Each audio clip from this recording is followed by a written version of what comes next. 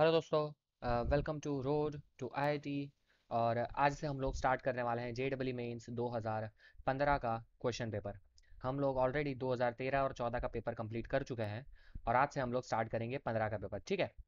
आ, तो चलिए मेरे साथ शुरू हो जाइए। क्या बोला है? Let A and B be the two sets containing four and two elements respectively ठीक है?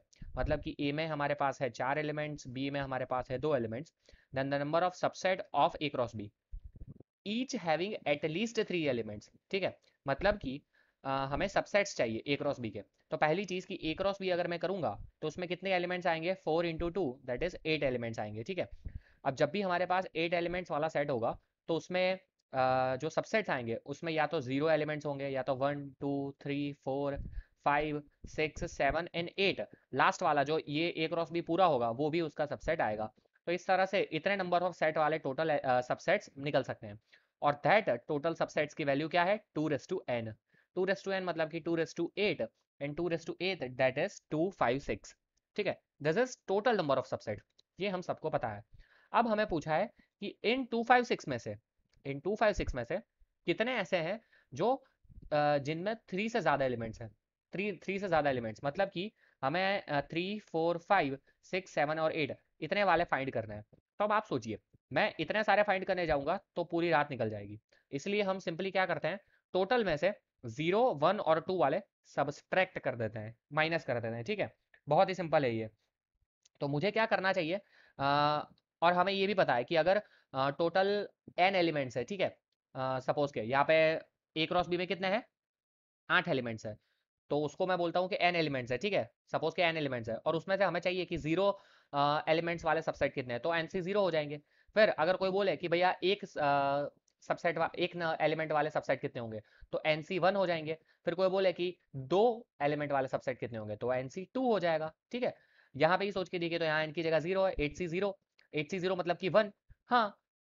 एक ही सबसेट ऐसा होगा जिसमें कोई एलिमेंट नहीं होगा और वो कौन सा होता है? हमेशा नल सेट नल सेट हमेशा एक ही होता है, ठीक है? इसी तरह से फिर eight C one eight C one मतलब कि एट बट अब ऐसी चीज़ है, अगर आठ एलिमेंट है तो आठों के आठों एलिमेंट अगर मैं सिंगल में लिख दूँ सपोज़ के one two three four five six element है हमारे सॉरी लेट से ए ए बी सी डी है तो ए फिर बी ये जो सिंगल एलिमेंट्स आएँगे, वैसे हमारे एट एलिमेंट्स हो जाएँगे, और इसी तरह से एट सी टू मेरे डबल वाले एलिमेंट्स हो जाएँगे। और एट सी टू कितना होता है? एट सी टू होता है मेरा eight into two sorry eight into seven divided by two तो ये मेरा होता है ट्वेंटी एट ठीक है? तो twenty eight plus nine that is thirty seven इतने ज़ीरो वन और टू वाले होते हैं, लेकिन हमें तो क्या फाइंड करना था? थ्री से ज़्यादा मतलब कि टू फिफ्टी सिक्स में से मैं माइनस कर देता हूँ थर्टी सेवन तो वो मुझे मिल जाता है two one nine which is greater than three elements ये इतने थ्री से ज़्यादा एलिमेंट वाले सबसेट होंगे टू वन नाइन तो मेरा करेक्ट आंसर है two one nine option number A I hope सबको ये क्वेश्चन समझ में आया होगा। आगे बढ़ते हैं हमारे नेक्स्ट क्वेश्चन की ओर, जो है कॉम्प्लेक्स नंबर का। अगेन अ सिंपल क्वेश्चन थोड़ा लॉजिकली सोचने का ट्राई करेंगे। Complex number Z said to be unimodular unimodular मतलब कि उसका मोड जो है वो वन दिया है। No problem suppose Z one and Z two are complex number such that this is unimodular this मतलब कि क्या है ये? Z1 minus two Z two divided by two minus Z one Z two का bar ये है unimodular ये भी मुझे क्या बोला है? यूनिमॉड्यूलर ठीक है? Okay and Z two is not unimodular मतलब कि uh, मैं लिख सकता हूँ कि मोड जेड टू जो है वो नॉट इक्वल टू वन है। क्योंकि नॉट यूनि नॉट यूनिमॉड्यूलर है। यूनिमॉड्यूलर मतलब कि मोड वन होना चाहिए। लेकिन यहाँ बोला है नॉट यूनिमॉड्यूलर चलो कोई नहीं। अब मुझे फाइंड करना है कि then the point Z one lines on मतलब कि अल्टीमेटली जो जेड वन होगा उसका इक्वेशन कैसे फॉर्म होगा? तभी हम पता कर पाएँगे कि वो कौन से uh, कौन सी जगह पे लाइन करता है ठीक है? लाई करता है। अब इसको थोड़ा सिंपली हम टैकल करता है। बहुत ज़्यादा इसमें सोचने की ज़रूरत नहीं है। एक्चुअली ये क्वेश्चन बहुत ही सिंपल है। इसमें आपके पास दो दो तरीके हैं मैं बोल सकता हूँ। या तो आप ले सकते हो कि more Z is equal to one बोला है। तो आप ले लो एक्स वन वाई वन और एक्स प्लस आउट है वाई प्लस आउट है भी और फिर इसमें पुट करके वैल्यू सॉल्व करो, वो थोड़ा लंबा हो जाएगा। इससे अच्छा है, हमारे पास एक शॉर्ट मेथड भी है। कैसे? कि हमें पता है कि दिस इसका मोड क्या है? वन है। अगर इसका मैं मोड वन ले लूँ इस तरह से, ठीक है? तो जब भी किसी का मोड वन होता है तो मैं ऐसा लिख सकता हूँ कि Z into Z bar mod Z into mod Z bar is equal to क्या होता है? मोड जेड का होल स्क्वायर यही होता है, ये सबको पता है, ठीक है? तो इसी थियरम का मैं यहाँ पे यूज़ करने वाला हूँ, इसी थियरम का मैं यहाँ पे यूज़ करने वाला हूँ, क्योंकि मुझे पता है सामने तो वन ही है तो वन का स्क्वायर भी क्या हो जाएगा? वन हो जाएगा। तो मैं क्या करता हूँ, देखो, पहले ऊपर वाला जो है, उसको मैं लिखता हूँ Z one minus two Z two multiply with Z one bar ठीक है बार ले लिया अब, देखना multiply with Z one bar minus two Z two bar ठीक है, चलिए, यहाँ तक सबको समझ में आएगा इसी तरह से नीचे करता हूँ मैं two minus Z one Z two bar into अब मैं बार वाला लेता हूँ जेड ये पूरे का बार करूँगा तो क्या हो जाएगा? Two minus Z one bar into Z two ठीक है? यहाँ तक किसी को कोई डाउट नहीं होना चाहिए सिर्फ़ आ, इसको मैंने बार वाले के साथ मल्टीप्लाई किया है ये थियरम का यूज़ करके। ठीक है? और मैं कर सकता हूँ। इसी को मैंने आ, ये पूरा मैंने ले लिया ठीक है? इसको मैंने पूरा एक कॉम्प्लेक्स नंबर बोल दिया। और इसके मैंने मल्टीप्लाई कर दिया इसका ही पूरा का बार तो वो इसका ही पूरा का बार हो गया। यहाँ पे सामने क्या आएगा? राइट हैंड साइड में वन इंटू वन आएगा तो वन इंटू वन तो वन ही होगा। अब मैं क्या करता हूँ? This into this is equal to this into this ये सामने चला जाएगा, ये यहाँ पे चला जाएगा, फिर दोनों को इक्वेट करूँगा और मेरा आंसर आ जाएगा। चलिए, करते हैं वो काम। तो यहाँ पे क्या हो जाएगा? यहाँ पे हो जाएगा Z one into Z one bar minus two Z one into Z two bar minus two Z two into Z one bar plus four Z two into Z two bar ठीक है? मैंने इसको सिर्फ़ सिंप्लीफाई किया है, ये पूरे equation को सिंप्लीफाई किया है। A plus, A minus B into A C minus D करते हैं, उसी तरह से, सिंप्लीफिकेशन, बहुत सिंपल है ये। इज़ इक्वल टू हो जाएगा सामने, four minus two Z one bar into Z two, यहाँ पे हो जाएगा minus two Z one into Z two bar और यहाँ पे आ जाएगा plus Z one Z one bar, Z two Z two bar, ठीक है? चलिए, यहाँ तक किसी को कोई दिक्कत होनी नहीं चाहिए। अब Z one into Z one bar तो वो तो क्या हो जाता है? Z one into Z one bar हो जाएगा। मोड जेड वन बार का मोड जेड वन का स्क्वायर लेकिन जेड वन तो क्या है? यूनिट यूनिमोड्यूलर है तो ये हो जाएगा वन माइनस आ जाएगा मेरे लिए। आ, ये क्या है? Two Z one Z two bar two Z one Z two bar that is की four Z one Z two bar यहाँ पे है plus four Z two Z two bar ठीक है? Four Z two Z two bar और यहाँ पे है minus four Z one Z one Z one Z one bar ठीक है? अच्छा एक सेकेंड यहाँ पे है four Z one into Z two bar ये ये पूरा डिफरेंट है, ठीक है? फिर से लिखता हूँ मैं। कोई दिक्कत नहीं है। देखो Z one into Z one bar तो वो तो वन हो जाएगा। माइनस ये है two Z one into Z two bar यहाँ पे है minus two Z two into Z one bar ठीक है? प्लस है four Z two into Z two bar चलो। यहाँ पे है फोर यहाँ पे है फोर तो ये हो जाएगा फोर माइनस लिखने के बाद two Z one bar into Z two, क्या है? Two Z one bar into Z two minus two Z one into Z two bar, और यहाँ पे है plus Z one Z one bar Z two Z two bar. अब देखो, अब यहाँ पे क्या होगा ध्यान से देखना। Two Z one bar into Z two two Z one bar into Z two, ठीक है? मार डाला एक दूसरे को। Two Z one into Z two bar मार डाला एक दूसरे को, ठीक है? तो अब क्या हो जाएगा, ध्यान से देख रहा, यहाँ पे यहाँ पे बच गया जेड वन वन, यहाँ पे मैंने वन लिखा है, ठीक है?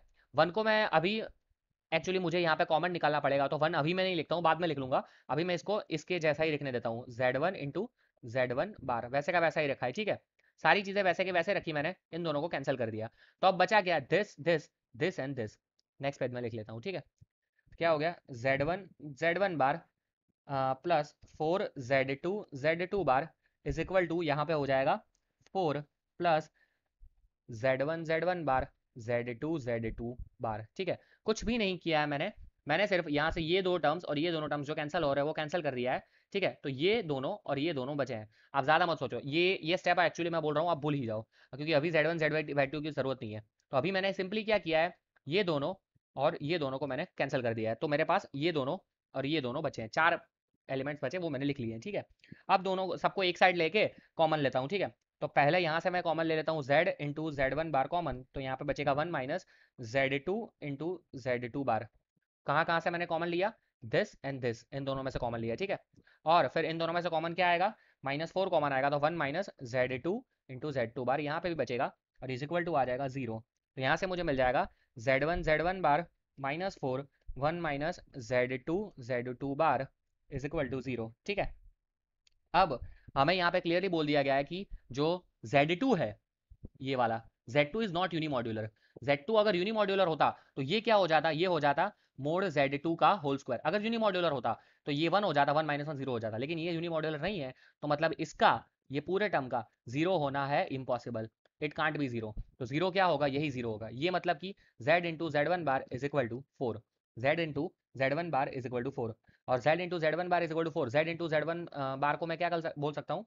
X square plus Y square क्योंकि this is nothing but mod Z one का whole square mod Z one का होल स्क्वायर मतलब कि X X square plus Y square is equal to क्या है? फोर भैया, ये क्या है?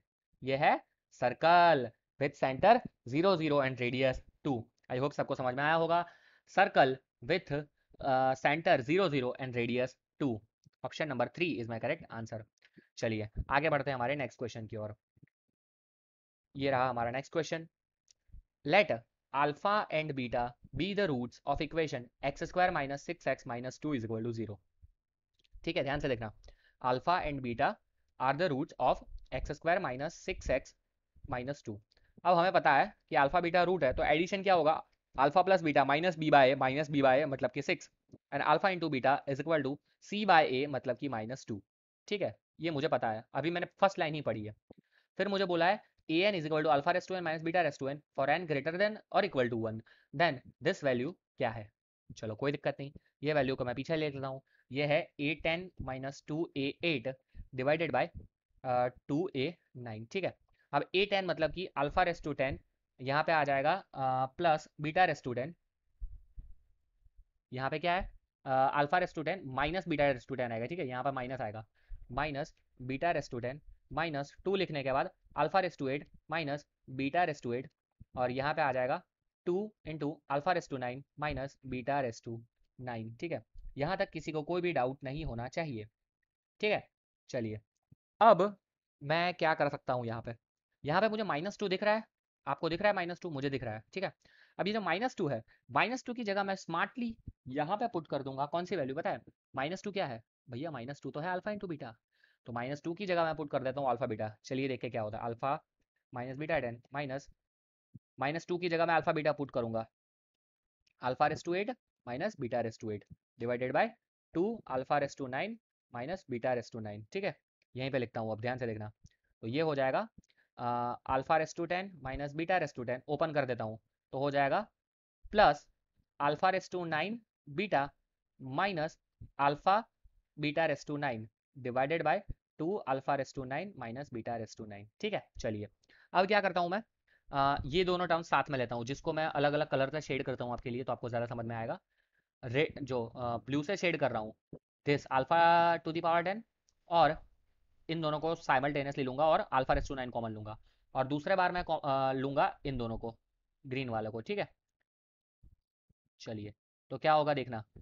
यहाँ पे हो जाएगा alpha to the power nine common आ जाएगा, अंदर बचेगा alpha minus beta sorry alpha plus beta यहाँ पे नीचे आ जाएगा minus beta raise to nine common क्या बचेगा? Beta raise to nine common तो यहाँ पे बीटा और अल्फ़ा मतलब कि अगेन अल्फ़ा प्लस बीटा बचेगा। नीचे क्या है? Two alpha raise to nine minus beta raise to nine, ठीक है? अब ये क्या हो जाएगा? Alpha raise to nine minus beta raise to nine into alpha plus beta. क्या हो जाएगा? Alpha raise to nine minus beta raise to nine into alpha plus beta. Divided by क्या था? Two alpha raise to nine minus beta raise to nine. अब ये दोनों एक दूसरे को मार डालेंगे। ये दोनों एक दूसरे को मार डालेंगे। तो अल्टीमेटली मेरे पास बचेगा alpha plus beta by two. This is my answer alpha plus beta मुझे दिया है। भगवान ने छः तो छः के बाय टू तो छः भाग्या त्रण, तीन मेरा करेक्ट आंसर हो गया। Six divided by two three is my correct answer option number three is my correct answer ठीक है?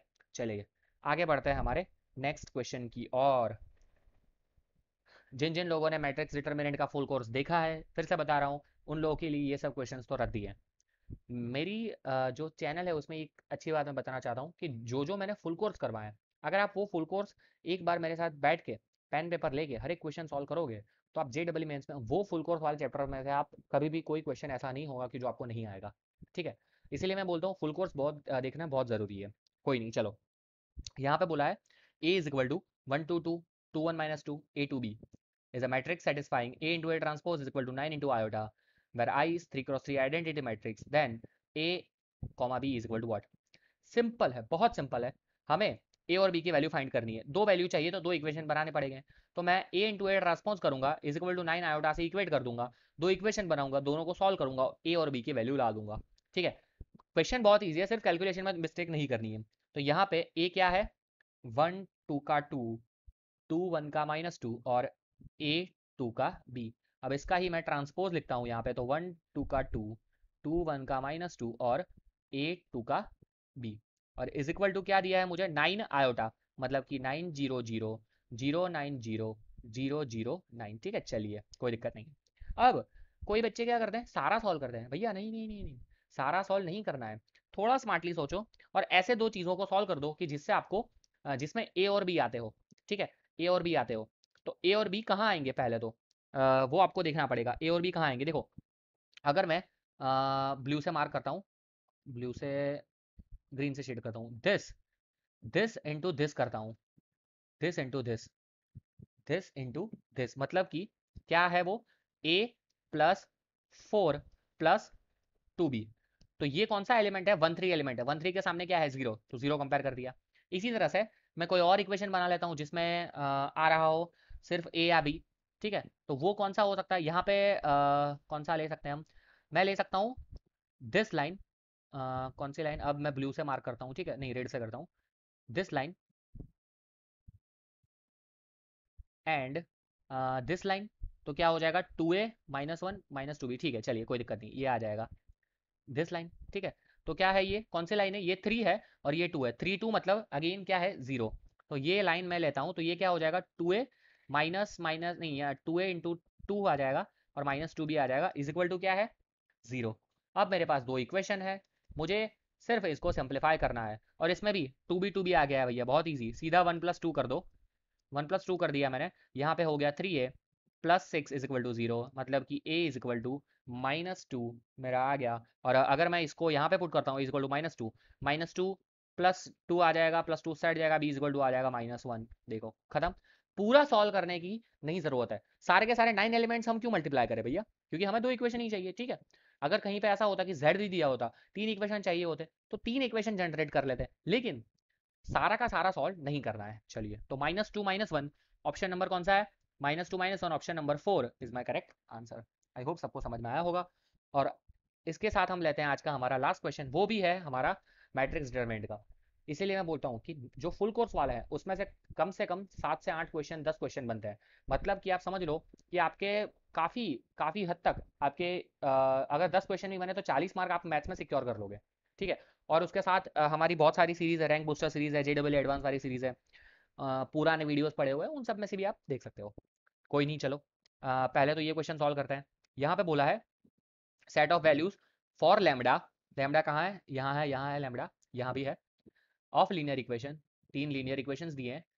Has a non trivial solution जैसे ही मुझे ये वर्ड दिखता है नॉन ट्रिवियल सॉल्यूशन जैसे ही मुझे ये वर्ड दिखता है, मैं कर देता हूँ determinant is equal to zero अगर determinant is equal to zero होता है, तभी मुझे नॉन ट्रिवियल सॉल्यूशन मिलता है। तो मैं क्या करता हूँ, पहले इसको थोड़ा सिंप्लीफाई करता हूँ। X one X two X three ना तो उसको उस साइड ले जाना पड़ेगा। तो ये हो जाएगा x one two minus lambda minus two x two plus x three is equal to zero actually these are homogeneous equation ठीक है? इसी तरह से यहाँ एक्स टू है तो ये हो जाएगा two x one minus x two यहाँ पे अंदर क्या आ जाएगा? प्लस एक्स टू ले लेता हूँ, चलो कोई नहीं। यहाँ पे आ जाएगा माइनस लेमडा माइनस थ्री और यहाँ पे आ जाएगा plus two x three is equal to zero और यहाँ पे लास्ट वाला equation minus x one plus two x two minus lambda x three is equal to zero homogeneous equation है। होमोजीनियस में अगर नॉन ट्रिवियल चाहिए तो डिटर्मिनेंट कोफिशंस का क्या होना चाहिए? ज़ीरो डिटर्मिनेंट्स क्या है यहाँ पे? Two minus lambda minus two one सामने है इज़ इक्वल टू ज़ीरो लग देता हूँ, ठीक है? Two minus lambda minus two और वन फिर यहाँ पे है two minus lambda minus three two minus one two minus lambda ठीक है?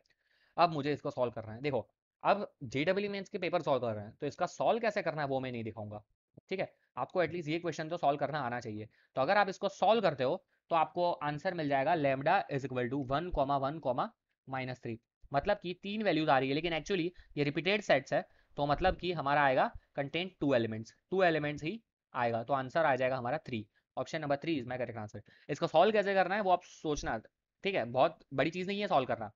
सिर्फ़ आप थोड़ा डायरेक्ट सोल्व करने जाओगे तो भी आंसर आ जाएगा लेकिन मैं बोलूँगा एक दो ऑपरेशंस कर लो थोड़ा एलिमेंट्स एक दो ज़ीरो में रिड्यूस कर दो और फिर पहला क्वेश्चन यानी कि सिक्स नंबर का क्वेश्चन यहाँ पे हमें बोला है the number of integers greater than six thousand ठीक है? मतलब कि छह हज़ार से बड़े number can be formed using the digits three five six seven eight without repetition without repetition तीन, पाँच छ सात और आठ, इन सब का यूज़ करके हम कितने? छः हज़ार से ज़्यादा वाले नंबर बना सकते हैं, ठीक है?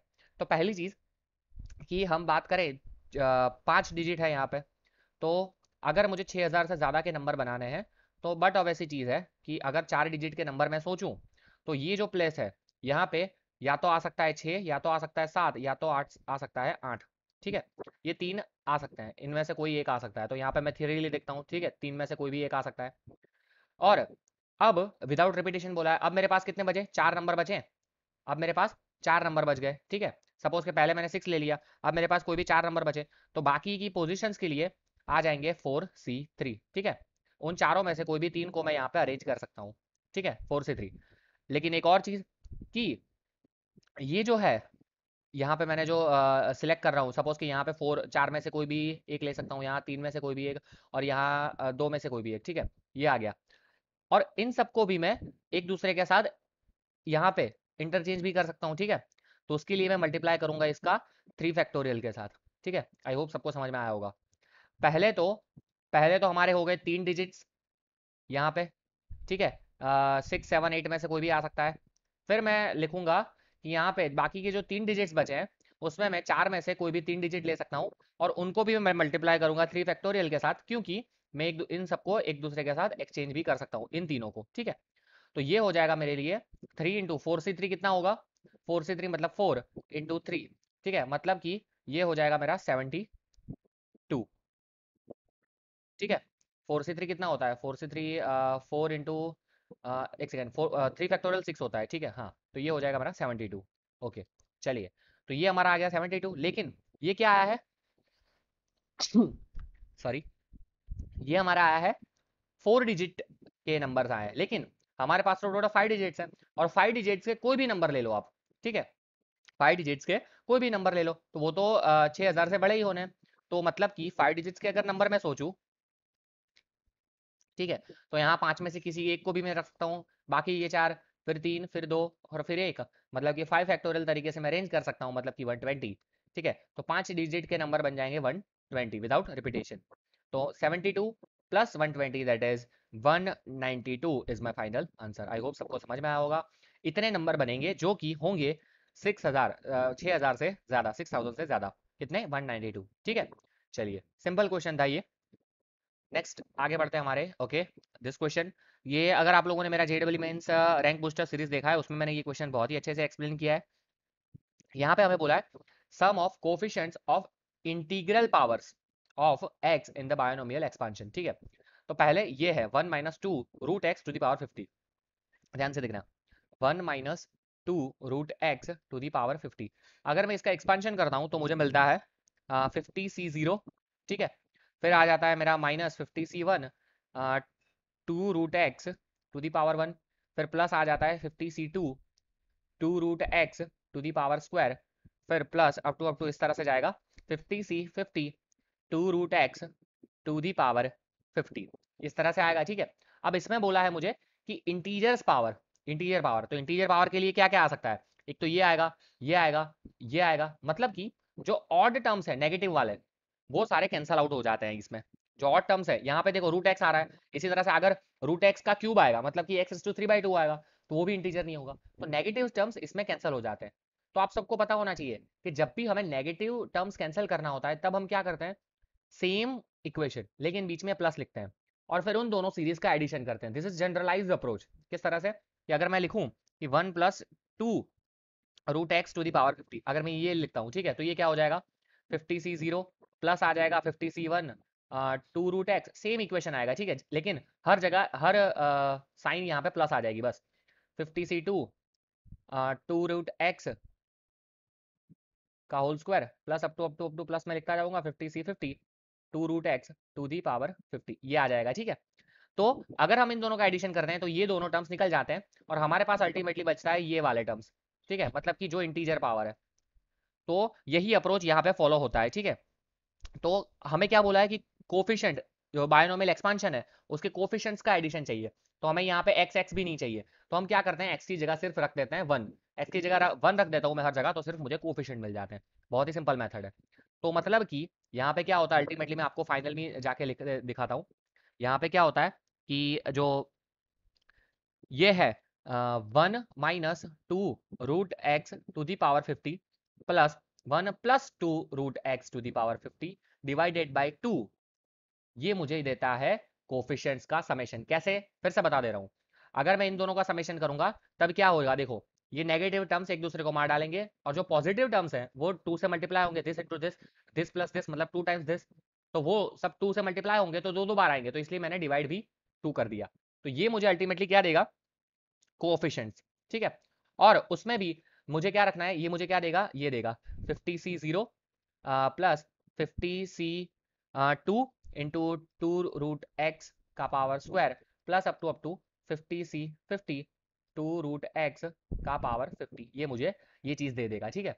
अब मुझे सिर्फ़ इसका कोफिशंस का चाहिए तो यहाँ हर जगह एक्स का एक्स की जगह वन रख देता हूँ तो मुझे ये पूरा कोफिशंस का एडिशन मिल जाएगा। सिमिलरली उसी तरह यहाँ पे भी एक्स की जगह वन रख देता हूँ, ठीक है? तो वो क्या हो जाएगा, ध्यान से देखना, वो हो जाएगा fifty C zero plus fifty C two into four plus fifty plus up to up to up to up to आएगा। Plus fifty C fifty two to the power fifty ये हो गया कॉफिशियंट का एडिशन यहाँ पे भी one रखता हूँ।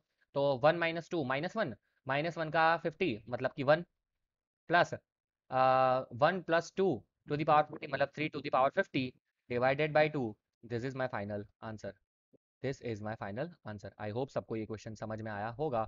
One plus two to the power fifty divided by two. This is my final answer ठीक है? कौन सा ये ऑप्शन ये है option number A this is the correct option ठीक है? ये भी एक जनरलाइज अप्रोच है। कोई इसमें कोई नया तोप वाला क्वेश्चन नहीं है। आगे के हमने पाँच क्वेश्चन देखे, ये दो क्वेश्चन कोई भी कोई नई चीज़ नहीं है। जिनको बेसिक्स पता है, आराम से ये क्लियर कर सकता है। ठीक है? नेक्स्ट क्वेश्चन देखते हैं।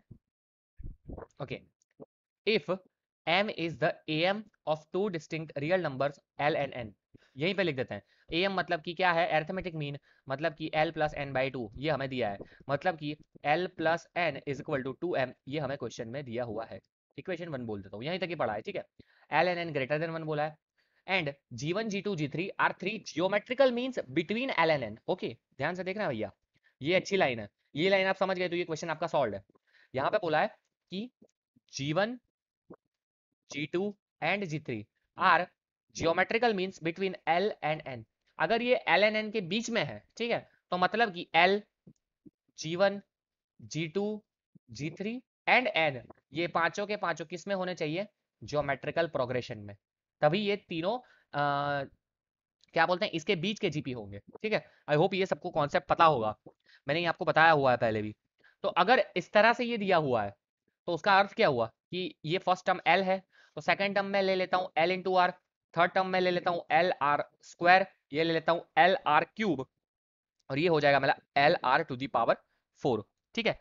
और यही मुझे दिया है एन के बराबर। अब ये तो मैंने जो क्वेश्चन में दिया था वो मैंने लिखा है। अब मुझे चाहिए क्या फाइनल फाइनली मुझे चाहिए, क्या चाहिए देखो?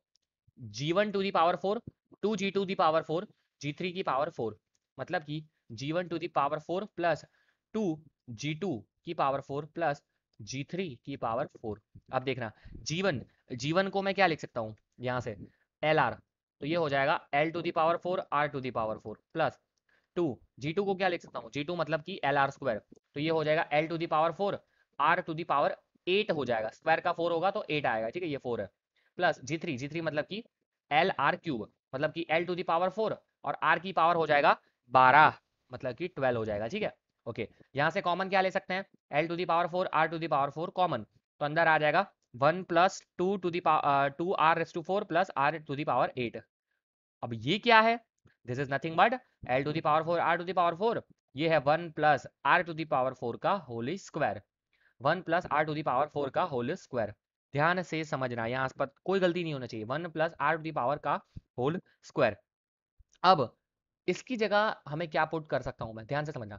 मुझे एक चीज़ यहाँ पे पता है, यहाँ पे देखो कि L plus N is two M question में ही दिया हुआ था ये, ठीक है? L plus N is two M तो यहाँ पे मैं ये ले सकता हूँ एल प्लस एन की जगह मैं क्या लिख सकता हूँ? एन की जगह मैं लिख सकता हूँ L R to the power four L R to the power four is equal to two M तो यहाँ से एल कॉमन और उस साइड ले लेता हूँ तो one plus R to the power four is equal to two M by L ठीक है? One plus R to the power four की जगह मैं टू एम बाय एल लिख सकता हूँ। अब आप बोलेंगे कि, सर, मैं ऐसा क्यों करूँ? मैं ऐसा इसीलिए करूँगा क्योंकि जब मैंने इसका आंसर क्वेश्चन में देखा, इस चीज़ का आंसर, ये ये तो मेरा निकल गया था, यही मेरा आंसर है, ठीक है? लेकिन जब मैंने इसको क्वेश्चन में देखा, तब मुझे एल दिखा, लेकिन मुझे एम और एन ही दिखा आर कहीं पे नहीं दिखा। मतलब कि आंसर मुझे एल एम और एन के टर्म्स में लाना है आर के टर्म्स में नहीं लाना है, ठीक है? तो वही उसी चीज़ के लिए मैंने क्या किया कि मैं वन प्लस आर को मैंने सब्सटीट्यूट करने का सोचा। तो one plus R S to four मुझे यहाँ से मिल सकता है। तो इसको मैं लिख सकता हूँ। L to the power four R to the power four two M by L का होल स्क्वायर आई होप यहाँ तक सबको बहुत ही अच्छे से समझ में आया होगा। कुछ भी टफ चीज़ यहाँ पे मैंने नहीं की है। तो अब ये क्या हो जाएगा फिर से? नेक्स्ट पेज में लिखता हूँ। L to the power four R to the power four यहाँ क्या होगा? टू एम बाय एल का होल स्क्वायर मतलब कि four M square by L square यहाँ तक हो गया। ठीक है? तो अब देखना ये हो जाएगा आ, ये दोनों एक दूसरे को मार डालेंगे तो यहाँ पे क्या आ जाएगा? L square into R to the R S to four into four M square ये हो जाएगा यहाँ पे ये दोनों ने एक दूसरे को मार डाला तो यहाँ पे टू पावर बच गई सिर्फ़ ठीक है? अब अगेन यहाँ पे अगेन ये R R to the power four बचा है तो मैं क्या कर सकता हूँ इसको? L into L R to the power four into four M square तो ये क्या हो जाएगा? L R L into R to the power four वो क्या है? वो है एन तो ये हो जाएगा एन फोर एम स्क्वायर ठीक है? मतलब कि four L N M square क्या हो गया हमारा? Four L N M square this is my final answer I hope ये भी अच्छे से सबको समझ में आया होगा. Four L N M square मतलब कि option number two is correct ठीक है? This is my final answer आगे बढ़ते हैं हमारे नेक्स्ट क्वेश्चन की ओर। मैं बोलूँगा कि अब तक जितने भी क्वेश्चन थे उसमें ये अच्छा क्वेश्चन था। थोड़ा सा दिमाग लगाना था लेकिन हाँ मॉडरेट लेवल का था टफ लेवल इसका भी नहीं था। नेक्स्ट क्वेश्चन की ओर। Okay again sequence and series का देखो सीक्वेंस एंड सीरीज़ की मैंने अभी अभी पीडीएफ अपलोड की है। मैं आपको उस टाइम भी बताया था कि सिक्वेंस सीरीज़ में यही जो क्वेश्चन है आ, इस तरह के बेसिक क्वेश्चन ही आते रहते हैं ठीक है? तो ये इंपॉर्टेंट हो जाता है हमेशा। Okay okay. यहाँ पे क्या है? The sum of first nine terms of this series first nine terms बोला गया है। तो मैं क्या करूँगा, ये पे मुझे दिख रहा है, one cube, one plus two cube, one plus three cube one cube, three one cube, two cube, three cube, इस तरह से नाइन तक जाएगा, ठीक है? तो ऊपर मेरा बन रहा है सिग्मा एन क्यूब, ठीक है? ऊपर मेरा बन रहा है सिग्मा एन क्यूब। और नीचे क्या है? नीचे है one one plus three, okay, one plus three plus five. मतलब कि ये बन रहा है, ये बन रहा है। अगर आपको इस तरह से ना पता चले डायरेक्टली, क्योंकि ये जनरलाइज सीरीज़ है, ये एक्चुअली है टू एन माइनस वन की सीरीज़। अगर आपको इस तरह से ना पता चले तो आप एन टर्म का जो नॉर्मल फॉर्मूला है T N is equal to A plus N minus one into D उसमें भी ये फॉर्मूला पुट करके आप आंसर ला सकते हो। आंसर तो उसमें भी आना है, ठीक है? ओके तो यहाँ हो जाएगा sigma two N minus one generalize nth term मैंने लिखा है, ठीक है? अब सिग्मा एन क्यूब सबको पता है? N square N plus one square by four I hope ये भी सबको अच्छे से समझ में आया होगा, ठीक है? अब यहाँ पे क्या होगा देखना। ये हो गया, ठीक है। अब नीचे क्या है? Sigma two N minus one. Two N minus one तो इसको मैं क्या लिख सकता हूँ? टू एन माइनस वन को। वो मैं एक नेक्स्ट पेज में ला, जाके लिखता हूँ अच्छे से। Sigma two N minus one तो ये हो जाएगा सिग्मा टू बाहर आ जाएगा। Sigma N minus sigma one, ठीक है। तो टू, सिग्मा एन मतलब कि N N plus one by two. ये मैं फिर से सबको फॉर्मूला बता देना चाहता हूँ। ये तो पता ही होने चाहिए कि अगर आपको एन नेचुरल नंबर्स पूछा है सम ऑफ़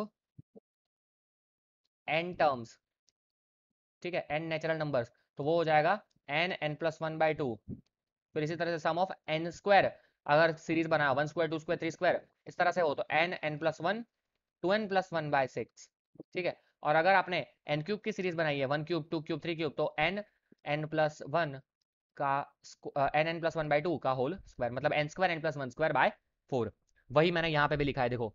यहाँ पे लिखा है N square N plus one square by four क्योंकि एन क्यूब की सीरीज़ है। चलो, कोई नहीं। यहाँ हो जाएगा ये सिग्मा वन सिग्मा वन होता है एन ठीक है? One one one one N time लिखूँगा तो एन आ जाएगा। तो ये एक दूसरे को मार डालेंगे। इन दोनों में से एन कॉमन तो अंदर बचेगा एन प्लस वन सॉरी यहाँ पे एन कॉमन तो N plus one minus one यहाँ से अभी वन बचेगा।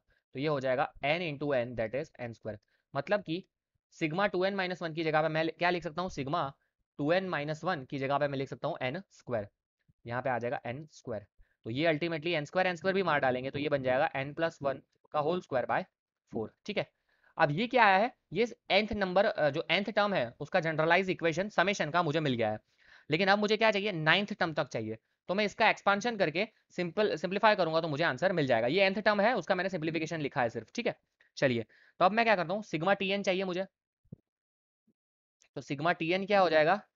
वो हो जाएगा one by four N plus one का होल स्क्वायर मतलब कि N square plus two N plus one और उसका भी क्या है? सिग्मा है। तो ये क्या हो जाएगा? वन बाय फोर यहाँ पे आ जाए sigma N square plus two sigma N plus sigma one ठीक है? तो ये हो जाएगा वन बाय फोर यहाँ पे आ जाएगा। अगेन मैंने बताया आपको N N plus one two N plus one by six ठीक है? यहाँ पे आ जाएगा two N N plus one by two और यहाँ पे आ जाएगा एन ठीक है? ये हो गया। अब यहाँ पे सिंपली एन की जगह मुझे एक चीज़ पुट करनी है, वो है नाइन क्योंकि मुझे क्वेश्चन में ही बोला है कि फ़र्स्ट नाइन टर्म्स का एडिशन चाहिए। तो यहाँ पे एन की जगह मैं नाइन पुट कर देता हूँ तो वो हो जाएगा मेरे लिए one by four into nine ten nineteen by six plus यहाँ पे हो जाएगा नाइन इंटू टेन प्लस यहाँ पे हो जाएगा नाइन ठीक है? और अगर मैं इसका सिंप्लीफाई करता हूँ तो मुझे मिल जाता है नाइन्टी सिक्स और this is my final answer I hope सबको समझ में आया होगा। क्वाइट इजी क्वेश्चन में बोलूँगा। ये भी क्वेश्चन टफ नहीं था। सिक्वेंस सीरीज़ में मैंने आपको पहले भी बताया है कि फॉर्मूला बेसिक क्वेश्चन बनते हैं इसमें। ओके okay, चलो कोई नहीं आगे बढ़ते हैं आज के हमारे लास्ट क्वेश्चन की ओर जो है हमारा इस पेपर का टेंथ नंबर का क्वेश्चन ओ भैया ये तो आ गया limit continuity limit continuity differentiability integration determinant and matrices trigonometry इन सब का फुल कोर्स अवेलेबल है। इन सब के बाहर अगर आपने फुल कोर्स देख लिया तो मेंस में कुछ करने की ज़रूरत नहीं है। एडवांस में भी वही फुल कोर्स यूज़ होगा, लेकिन उसमें थोड़ी प्रैक्टिस हमें ज़्यादा चलेगी। वो जब एडवांस का आएगा, तब मैं उसमें थोड़े थोड़े वीडियो और अपलोड करूँगा। लेकिन मेंस के लिए हमारा फुल कोर्स काफ़ी इनफ है। उसमें हज़ारों क्वेश्चन अवेलेबल है और उसमें ये भी क्वेश्चन मैंने सॉल्व करवाया हुआ है। बहुत ही ईजी तरह से इसको हम सॉल्व कर सकते हैं, ठीक है? चलो, फिर से यहाँ पे मैं करवा देता हूँ। यहाँ पे हमें लिखा है limit X tends to zero one minus cos two X three plus cos X divided by X tan four X ठीक है? अगर मैं ज़ीरो पुट करता हूँ तो ये भी ज़ीरो होगा ये भी ज़ीरो होगा। ज़ीरो बाय ज़ीरो फॉर्म हो रहा है एल हॉस्पिटल रूल में अप्लाई कर सकता हूँ बट ऑब्वियसली चलो लेकिन मैं वो नहीं करूँगा। इसके अलावा भी हम तो थोड़ा दिमाग उस इस्तेमाल करके भी इसको सॉल्व कर सकते हैं। कैसे? पहले तो अगर मैं एक्स ज़ीरो यहाँ पे दे, दे दूँ इस इस फ़ंक्शन को थ्री प्लस कॉस एक्स को तो इसको, ये मुझे कुछ क्या देगा? ज़ीरो तो कॉस ज़ीरो होता है one three plus one four ठीक है तो कोई दिक्कत नहीं है तो मैं फोर यहाँ पे साइड में लिख लेता हूँ, ठीक है? तो उतना मेरा काम हो गया। लिमिट में आप ऐसा कर सकते हो। Limit X tends to zero हो जाएगा ये। Again one minus cos two X one minus cos two X को मैं ले सकता हूँ। Two sine square angle half ठीक है? Two sine square angle half okay अब मुझे एक पता है कि यहाँ पे साइन स्क्वायर है तो यहाँ भी नीचे भी मुझे क्या चाहिए? स्क्वायर ही चाहिए, ठीक है? कि लेकिन यहाँ तो एक एक्स ऑलरेडी अवेलेबल है और एक एक्स मैंने एक्स्ट्रा लिया है तो अगर मैंने मल्टीप्लाई नीचे किया तो मैं ऊपर भी एक एक्स मल्टीप्लाई करूँगा। तो ऊपर भी मैंने एक एक्स मल्टीप्लाई कर दिया और नीचे क्या था? टेन, फोर एक्स ठीक है? आई होप यहाँ तक सबको समझ में आया होगा। ठीक है? अब देखो, ये जो है limit X tends to zero sine square X जितना हो जाए उतना सॉल्व करके खत्म करो उसे। ठीक है? इतना जो मैंने लिखा है limit X tends to zero ये। ठीक है? तो ये कितना हो जाएगा हमारा? ये हो जाएगा हमारा one sine square X upon X square वो हो जाएगा वन तो यहाँ पे आ जाएगा four into two that is eight limit तो रहेगी अभी, ठीक है? अभी एक और फ़ंक्शन बाकी है। Eight into X upon tan four X ठीक है? अब अगेन टेन फोर एक्स है तो मुझे यहाँ पे क्या चाहिए? फोर चाहिए, तभी ये फॉर्मूला बनेगा। तो एट को मैं लिख लिख लेता हूँ, क्या लिखता हूँ पता है? एट को मैं यहाँ से इरेज करके मैं लिखता हूँ टू इंटू फोर और यहाँ पे सिर्फ़ टू मल्टीप्लाई करता हूँ, यहाँ पे फोर हो जाएगा। अगेन ये जो है, ये क्या हो जाएगा मेरे लिए? ये मेरा लिए पूरा हो जाएगा वन तो ये मुझे दे देगा two into one that is two which is my correct answer I hope ये भी सबको समझ में आया होगा। ऑप्शन नंबर थ्री इज़ पहले क्वेश्चन से। If function G of X is equal to K square root of X plus one for zero two three ये इंटरवल दिया है। अगर ये इंटरवल है तो ये फ़ंक्शन है। और अगर थ्री टू फाइव ये इंटरवल है तो ये फ़ंक्शन है। ठीक है। इज़ डिफरेंशिएबल डिफरेंशिएबल बोल दिया है भैया। Then the value of K plus M K here and M here दोनों का एडिशन की वैल्यू क्या है, वो हमें फाइंड करना है, ठीक है? अब एक चीज़, पहले तो हमें क्लियर कट पता होनी चाहिए कि अगर डिफरेंशिएबल है फ़ंक्शन दैट मीन्स कि वो कंटिन्यूस भी होगा और डिफरेंशिएबल भी होगा, ठीक है? लेकिन अगर कंटिन्यूस है तो हम ऐसा नहीं बोल सकते कि वो डिफरेंशिएबल होगा ही होगा। ये चीज़ आपको पता होनी चाहिए कि अगर डिफरेंशिएबल बोल रहा है तो it has to be continuous ठीक है, इस इंटरवल में। तो अगर मैं कंटिन्यूटी की बात करूँ, ठीक है तो यहाँ पे ये ब्रेक थ्री पे हो रहा है तो अगर मैं कंटिन्यूटी की बात करूँ तो क्या हो जाएगा? तो G of three minus is equal to G of three plus ठीक है? क्योंकि डिफरेंशिएबल है तो कंटिन्यूस होना मस्ट है। इट लिख लेता हूँ मैं यहाँ पे it has to be continuous ठीक है? ओके तो G of minus three three से कम माइनस uh, वाला पीछे तो थ्री से आगे थ्री प्लस दोनों इक्वल होने चाहिए। तो यहाँ पे क्या हो जाएगा? K into root of three plus one that is four is equal to M into three plus two ठीक है, ये हो गया। तो यहाँ से मुझे क्या मिल जाएगा? Two K is equal to three M plus two ये मेरा मिल गया इक्वेशन नंबर वन चलो, कोई नहीं। ये तो है ही। ये एडिशनल कंडीशन है। और उसके साथ हमें बोल दिया है कि भैया, ये तो डिफरेंशिएबल भी है। अगर डिफरेंशिएबल है तो मतलब कि G dash of mine three minus is equal to G dash of three plus ठीक है? अब थ्री माइनस मतलब कि ये वाला फ़ंक्शन के रूट एक्स प्लस वन तो उसका डिफरेंशिएशन क्या हो जाएगा? K divided by two root X plus one ठीक है? इज़ इक्वल टू एट कौन से point at X is equal to three क्योंकि यहाँ पे थ्री माइनस है, ठीक है? और थ्री प्लस के लिए कौन सा फ़ंक्शन है? थ्री प्लस के लिए ये फ़ंक्शन है तो इसका डिफरेंशिएशन हो जाएगा एम अगर मैं यहाँ पे थ्री पुट करता हूँ तो क्या मिल जाएगा मुझे? के डिवाइडेड बाय टू यहाँ पे four plus one three plus one four four का square root two two into two that is four मतलब कि m is equal to K by four M is equal to K by four मिल गया। इसको मैं बोल देता हूँ equation number two अब मेरे पास दो इक्वेशन है equation one and equation two अगर मैं दोनों को सॉल्व कर देता हूँ मतलब कि यहाँ से मैं लिख लिख सकता हूँ M sorry K is equal to four M K is equal to four M और K is equal to four M को मैं यहाँ पे पुट कर देता हूँ। तो मैं अगर दोनों को सॉल्व करता हूँ तो मुझे मिल जाता है K is equal to four M यहाँ पे पुट करता हूँ। तो मुझे एम मिल जाएगा टू बाय फाइव और अगर उसको ही मैं आ, फिर एम को मैं यहाँ पे वापस पुट कर देता हूँ। तो ये मुझे मिल जाएगा K is equal to eight by five और अगर मैं दोनों का एडिशन करता हूँ M plus K that means की two by five plus eight by five मतलब कि टेन बाय फाइव मतलब कि two two option number one is my correct answer I hope सबको ये क्वेश्चन समझ में आया होगा. इजी क्वेश्चन था, काफ़ी easy question again next question हमारा, मैं बोलूँगा ये भी काफ़ी इजी क्वेश्चन है थोड़ा सा समझने की ज़रूरत है. यहाँ पे बोला है normal to the curve this at this अब पहली चीज़ कि नॉर्मल का अगर मुझे इक्वेशन चाहिए तो मुझे दो चीज़ चाहिए। एक तो मुझे चाहिए नॉर्मल का स्लोप और एक मुझे चाहिए पॉइंट ठीक है? पॉइंट मुझे गिवन है वन कॉमा वन अब बात रही स्लोप की। तो स्लोप के लिए मैं क्या करूँगा? टेंजेंट का स्लोप फाइंड करूँगा और फिर उसके मल्टीप्लाई में मैं कर दूँगा माइनस वन क्योंकि हमें पता है नॉर्मल का स्लोप इंटू टेंजेंट का slope slope of tangent into normal is equal to होता है माइनस वन क्योंकि दोनों एक दूसरे के परपेंडिकुलर है। तो यहाँ से मुझे नॉर्मल का स्लोप मिल जाएगा। स्लोप मिल जाएगा, तब मैं इक्वेशन फाइंड कर सकता हूँ। फिर हम देखेंगे कि कौन सा पॉइंट इसमें से सही है। तो पहले तो हमें ये इक्वेशन दिया है x square plus two x y minus three y square equal to zero क्या है ये? X square plus two x y minus y square sorry minus three y square is equal to zero ये है। तो अब इसका मैं directly differentiation start करता हूँ विथ रिस्पेक्ट टू एक्स ठीक है, याद रखना विथ रिस्पेक्ट टू एक्स ही करूँगा मैं। तो क्या हो जाएगा? Two x plus two into यहाँ पे क्या हो जाएगा? Two common x constant y का डिफरेंशिएशन वाई डैश और minus sorry plus y constant और एक्स का डिफरेंशिएशन वन ठीक है? माइनस यहाँ पे आ जाएगा six y y dash is equal to zero I hope सबको ये पता होना पता चला होगा। प्रोडक्ट uh, रूल यहाँ पे अप्लाई किया है मैंने। तो ये हो जाएगा मेरा टू प्लस और अगेन यहाँ पे मुझे पता है कि मुझे कौन से पॉइंट पे चाहिए? वन कोमा वन पे। वन कोमा वन पे। तो यहाँ पे मैं वन वन हर जगह पुट कर देता हूँ। तो ये मिल जाएगा मुझे two plus two y dash plus two minus six y dash is equal to zero तो यहाँ से मुझे मिल जाएगा y dash is equal to one y dash y dash मतलब कि d y by d x is equal to one and d y by d x मतलब कि ये है टेंजेंट का स्लोप अब अगर टेंजेंट का स्लोप वन है तो वन इंटू नॉर्मल का slope is equal to minus one तो नॉर्मल का स्लोप क्या हो जाएगा?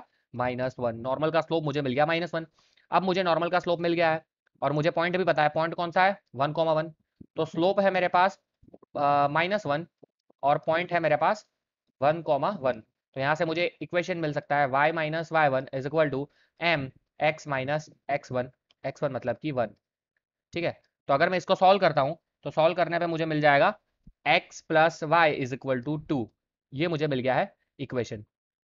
ठीक है ये मुझे मिल गया नॉर्मल का इक्वेशन। नॉर्मल इक्वेशन ठीक है चलिए। किन कौन से इक्वेशन के लिए? ये कव के लिए और वन कोमा वन पॉइंट के लिए। ठीक है अब मुझे बोला है कि this does not meet the curve again okay. Meet the curve in second quadrant meet the curve again in third quadrant meet the curve again in fourth quadrant अब uh, यहाँ पे ये नॉर्मल का है इस पे तो एक बार तो मिल ही रहा है वन वन वन टाइम ये इंटरसेक्ट कर रहा है, ठीक है? दूसरी बार कर रहा है नहीं वो हमें चेक करना पड़ेगा। अगर नहीं मिल रहा होगा, दूसरी बार इंटरसेक्ट नहीं कर रहा होगा तो ऑप्शन ही करेक्ट हो जाएगा। और अगर मिल रहा होगा तो जो पॉइंट्स मिलेंगे, उसमें से हम देख पाएँगे कि सेकंड थर्ड या फोर्थ क्वाड्रेंट है सिंपल है। तो उसके लिए मैं क्या करूँगा, यहाँ से मुझे पता है कि मैं लिख सकता हूँ यहाँ से कि y is equal to two minus x तो y is equal to minus x को मैं पुट कर दूँगा हमारे कव के इक्वेशन में। कव का इक्वेशन क्या था? X square plus two x y minus three y square is equal to zero. यहाँ पे मैं पुट कर देता हूँ तो मिल जाएगा x square plus two x. यहाँ पे हो जाएगा two minus x minus three लिखने के बाद टू माइनस एक्स का होल स्क्वायर, ठीक है, इज़ इक्वल टू ज़ीरो। अब इसको सिंप्लीफाई करता हूँ मैं तो सिंप्लीफाई करने से मुझे आता है x square minus four x plus three is equal to zero. तो ये हो जाएगा मेरा x is equal to one and three, ठीक है। एक्स इज़ इक्वल टू क्या मिल गया मुझे वन एंड थ्री। अब आप देखो, x is equal to one में रखता हूँ यहाँ पे ठीक है x is equal to one तो वाई क्या आ जाएगा? वन जो तो हमें पॉइंट ऑलरेडी गिवन था ये one comma one point one comma one point हमें गिवन था। अब है x is equal to three तो वाई मिलेगा मुझे माइनस वन तो ये कौन सा पॉइंट हो गया? माइनस वन मिलेगा, ठीक है? X is equal to three तो y is equal to minus one तो थ्री कॉमा माइनस वन ये हमारा नेक्स्ट पॉइंट मिला। मतलब कि ये इंटरसेक्ट दूसरी बार भी कर रहा है, और कौन से क्वाड्रेंट है ये बताओ मुझे? ये है फोर्थ क्वाड्रेंट तो मेरा करेक्ट आंसर हो जाएगा ऑप्शन नंबर फोर की meets the curve again but in the fourth quadrant ठीक है? आई होप सबको ये समझ में आया होगा। अगेन मॉडरेट लेवल का क्वेश्चन था ये। नेक्स्ट क्वेश्चन हमारा लिमिट कंटिन्यूटी पे है। ये क्वेश्चन मैंने हमारे फुल कोर्स में सॉल्व करवाया है। अगेन मैं बार बार बताता रहता हूँ, मैं फिर से बता रहा हूँ कि जो लोगों ने हमारा फुल कोर्स देखा है, उस चैप्टर के क्वेश्चन आपको हंड्रेड परसेंट आएँगे ही आएँगे। क्या बोला है यहाँ पे? कि let f of x be the polynomial polynomial of a degree four degree four बोला है। Having extreme values at x is equal to one and x is equal to two ठीक है? Extreme values at x is equal to one and x is equal to two ये बोला है। तो यहाँ पे मैं दो तीन चीज़ें मेरे पास आ, मैं समझा सकता हूँ आपको। पहले तो पॉलिनोमियल डिग्री फोर बोला है। तो मतलब हाईएस्ट डिग्री फोर होगा। तो मैं इसको कैसे लिख सकता हूँ पता है? A x raise to four plus b x cube plus c x square plus d x plus e is equal to zero मैं ऐसे लिख सकता हूँ इसको ठीक है? अब इसका मुझे बोला है कि एक्सट्रीम पॉइंट ज़ीरो है। तो मुझे एक चीज़ पता है कि अगर ये एफ़ ऑफ़ एक्स है सपोज़ के तो f dash of one and f dash of two both उसकी वैल्यू क्या होगी? ज़ीरो क्योंकि एक्सट्रीम पॉइंट का मीनिंग ही वही है कि उसका डिफ्रेंसिएशन करो और उसको सॉल्व करो, तब differentiation is equal to zero होगा, तब जो वैल्यू मिलती है वही एक्सट्रीम पॉइंट्स कहलाती है। तो वन और टू पे एफ़ डैश उसका ज़ीरो होगा, ये भी हमें पता है। दूसरी चीज़ हमें दी है कि if limit x tends to zero one plus f of x divided by x square is equal to बोला है हमें three then f of two is equal to what अब ये बहुत ही सुंदर क्वेश्चन है। मैं आपको एक चीज़ यहाँ पे बताना चाहता हूँ कि आ, कई लोग है ना ये f of x is equal to ये जो है ना ये पूरा क्योंकि यही है फोर डिग्री का पॉलिनोमियल यही है। तो ये अज्यूम करके फिर सॉल्व करना स्टार्ट करते हैं और फिर आगे जाके वो दिक्कत में आ जाते हैं। सॉल्व होगा लेकिन वो बहुत लंबा हो जाएगा और उससे शायद तक आपका आंसर ना भी आए। क्यों? क्योंकि हमें ये पूरा सॉल्व करने की ज़रूरत नहीं। है इसमें हमें, आप देखो, इसमें हमें तीन इक्वेशन बनाने पड़ेंगे, क्योंकि हमें ए बी सी डी ई पाँच चीज़ें चाहिए। तो सॉरी तीन नहीं, पाँच इक्वेशन बनाने पड़ेंगे। पाँच इक्वेशन बनाओगे, पाँच इक्वेशन से उसको सॉल्व करोगे, तब हमें ए बी सी डी की ई e की वैल्यू मिलेगी और वो इक्वेशन जनरेट होगा और फिर वहाँ टू की वैल्यू पुट करोगे, तब हमारा आंसर आएगा। लेकिन आप चीज़, एक चीज़ सोचो, एक चीज़ मैं आपको सोचने के लिए बता रहा हूँ यहाँ पे कि यहाँ पे limit x tends to zero one ठीक है? तो ये हो, ये क्या हो जाएगा? ये हो जाएगा one plus limit limit x tends to zero one one ही होगा। X tends to zero, f of x divided by x square is equal to three बोला है। मतलब कि ये जो लिमिट है ना, उसकी वैल्यू कोई डिजिट आ रही है, थ्री माइनस वन मतलब कि टू होगा। तो कोई न्यूमेरिकल डिजिट इंटीजर वैल्यू आ रही है, ठीक है? इनफाइनाइट ऐसा कुछ नहीं आ रहा है। तो उसका अर्थ यही है कि ये जो एफ़ ऑफ़ एक्स जो पोलिनोमियल है, उसकी डिग्री हम टू तक ही ले सकते हैं। क्योंकि आप सोचो कि अगर मैं इसका डिग्री सपोज़ कि इस तरह से ले लूँ a x raise to four plus b x cube plus c x square plus d x suppose के ई मैंने ज़ीरो अज्यूम कर लिया है, ठीक है? तो क्या हो जाएगा? नीचे एक्स स्क्वायर तो यहाँ पे देखो, ये आ जाएगा ए एक्स स्क्वायर ये आ जाएगा बी एक्स ये आ जाएगा सी प्लस ये आ जाए डी बाई एक्स और एक्स टेंस टू ज़ीरो है तो ये इनफाइनाइट हो सकता है, ठीक है? और अगर मैंने ई e भी ले लिया होता तो यहाँ पे आ जाता ई बाई एक्स स्क्वायर तो वो भी इनफाइनाइट तक जाता, ठीक है? मैं यही बताने का ट्राई कर रहा हूँ कि यहाँ पे एक इंटीजर वैल्यू बन रही है हमारे सामने, ठीक है? तो उसका अर्थ यही है कि ये जो फ़ंक्शन होगा, वो फ़ंक्शन में ये डी वाला टर्म मतलब कि एक्स एक्स वाला टर्म वन पावर वाला टर्म और ज़ीरो डिग्री वाला टर्म दोनों टर्म नहीं आएँगे, ये दोनों नहीं आएँगे। तो हमारे पास जो अभी इक्वेशन बनेगा, वो सिर्फ़ यही बनेगा a x raise to four plus b x cube plus c x ठीक है? तो अभी मैं इसी इक्वेशन से आगे बढ़ूँगा। आई होप ये सबको क्लियर हुआ होगा और इसको ही मैं बोलूँगा एफ़ ऑफ़ एक्स ठीक है? चलिए, अब हमें पता है कि एफ़ ऑफ़ एक्स यही है। क्यों मैंने आपको समझा दिया है? अब एफ़ डैश ऑफ़ एक्स मैं इसको लिखता हूँ। तो एफ़ डैश ऑफ़ एक्स क्या हो जाएगा? Four a x cube plus three b x square plus c two c x ठीक है? ये क्या हो गया मेरा? सी एक्स स्क्वायर है। ठीक है? यहाँ पे देखो। यहाँ पे क्या आएगा? A x to four b x cube c x square यहाँ पे आ जाएगा टू सी एक्स, चलिए। अब इसको मैं इक्वेट करता हूँ ज़ीरो से। ठीक है? तो मुझे एक्सट्रीम पॉइंट्स मिलते हैं, और एक्सट्रीम पॉइंट्स कहाँ पे दिए मुझे? वन एंड टू पे। तो एफ़ डैश ऑफ़ वन क्या हो जाएगा? एफ़ डैश ऑफ़ वन हो जाएगा four a plus three b plus two c is equal to zero, और एफ़ डैश ऑफ़ टू भी हो जाएगा मेरे लिए thirty two a plus twelve b plus four c is equal to zero. ये हो गया मेरा इक्वेशन वन, ये हो गया मेरा इक्वेशन टू लेकिन अगेन आई एम सेइंग कि हमारे पास तो तीन अननोन है ए बी एंड सी और हमें चाहिए तीन इक्वेशन क्यों? तभी हम सॉल्व कर पाएँगे अभी दो है, ठीक है?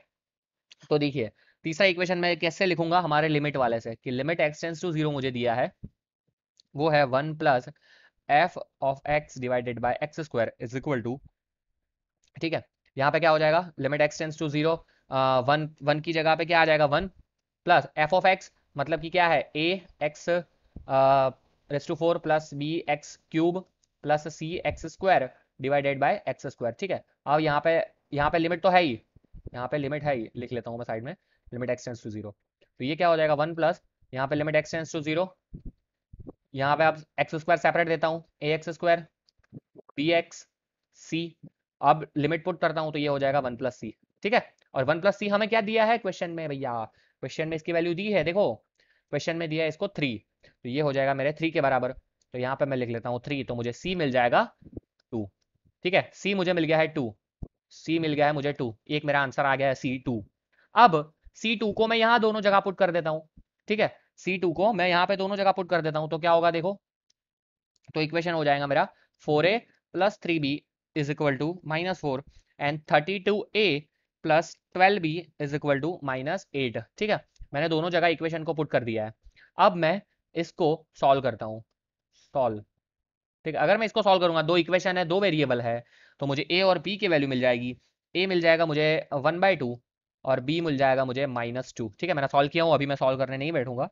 तो a is equal to one by two and b is equal to two ये मुझे मिल गया है। ठीक है, और अब मेरा इक्वेशन क्या बन जाएगा? One by two x raise to four minus two x cube plus c हमारा क्या आया था? सी हमारा आया था टू टू एक्स स्क्वायर, ये मेरा हो गया एफ़ ऑफ़ एक्स और अब मैं एक्स की जगह क्या पुट करूँगा? अगेन टू क्योंकि मुझे एफ़ ऑफ़ टू चाहिए। तो एफ़ ऑफ़ टू मेरे लिए हो जाएगा one by two in to यहाँ पे आ जाएगा two raise to four that is सोलह। माइनस लिखने के बाद two into two raise to two cube two cube क्या हो जाएगा? टू क्यूब हो जाएगा अगेन एट और यहाँ पे आ जाएगा प्लस एट ठीक है? यहाँ पे four four into two eight यहाँ पे आ जाएगा, ये हो जाएगा eight eight plus eight that is sixteen sixteen minus sixteen that is zero तो मेरा करेक्ट आंसर मेरा फाइनल आंसर जो इस क्वेश्चन का बनेगा, वो बन जाएगा ज़ीरो ऑप्शन नंबर कौन सा है, देख लेते हैं हम लोग. ऑप्शन नंबर है C three this is my correct answer zero ठीक है? आई होप सबको समझ में आया होगा. अच्छा क्वेश्चन था ये भी.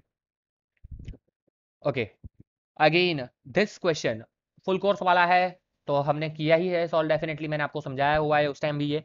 फिर से मैं सॉल्व कराऊँगा आज कि integral d x upon x square x s to four plus one whole raise to three by four equals to what? ठीक है। अब इस टाइप के क्वेश्चन में मैंने आपको बहुत अच्छे से अप्रोच समझाया हुआ है कि यहाँ पे सारी की सारी चीज़ें नीचे हैं और कहीं पे भी कोई माइनस नहीं दिख रहा है।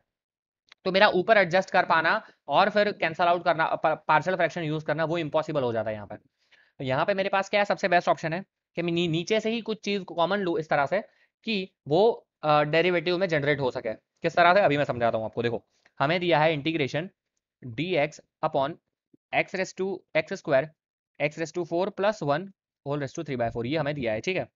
अब देखो, मैं क्या करता हूँ? यहाँ पे थ्री बाय फोर है। तो मैं एक्स रेस टू फोर ही कॉमन ले लेता हूँ।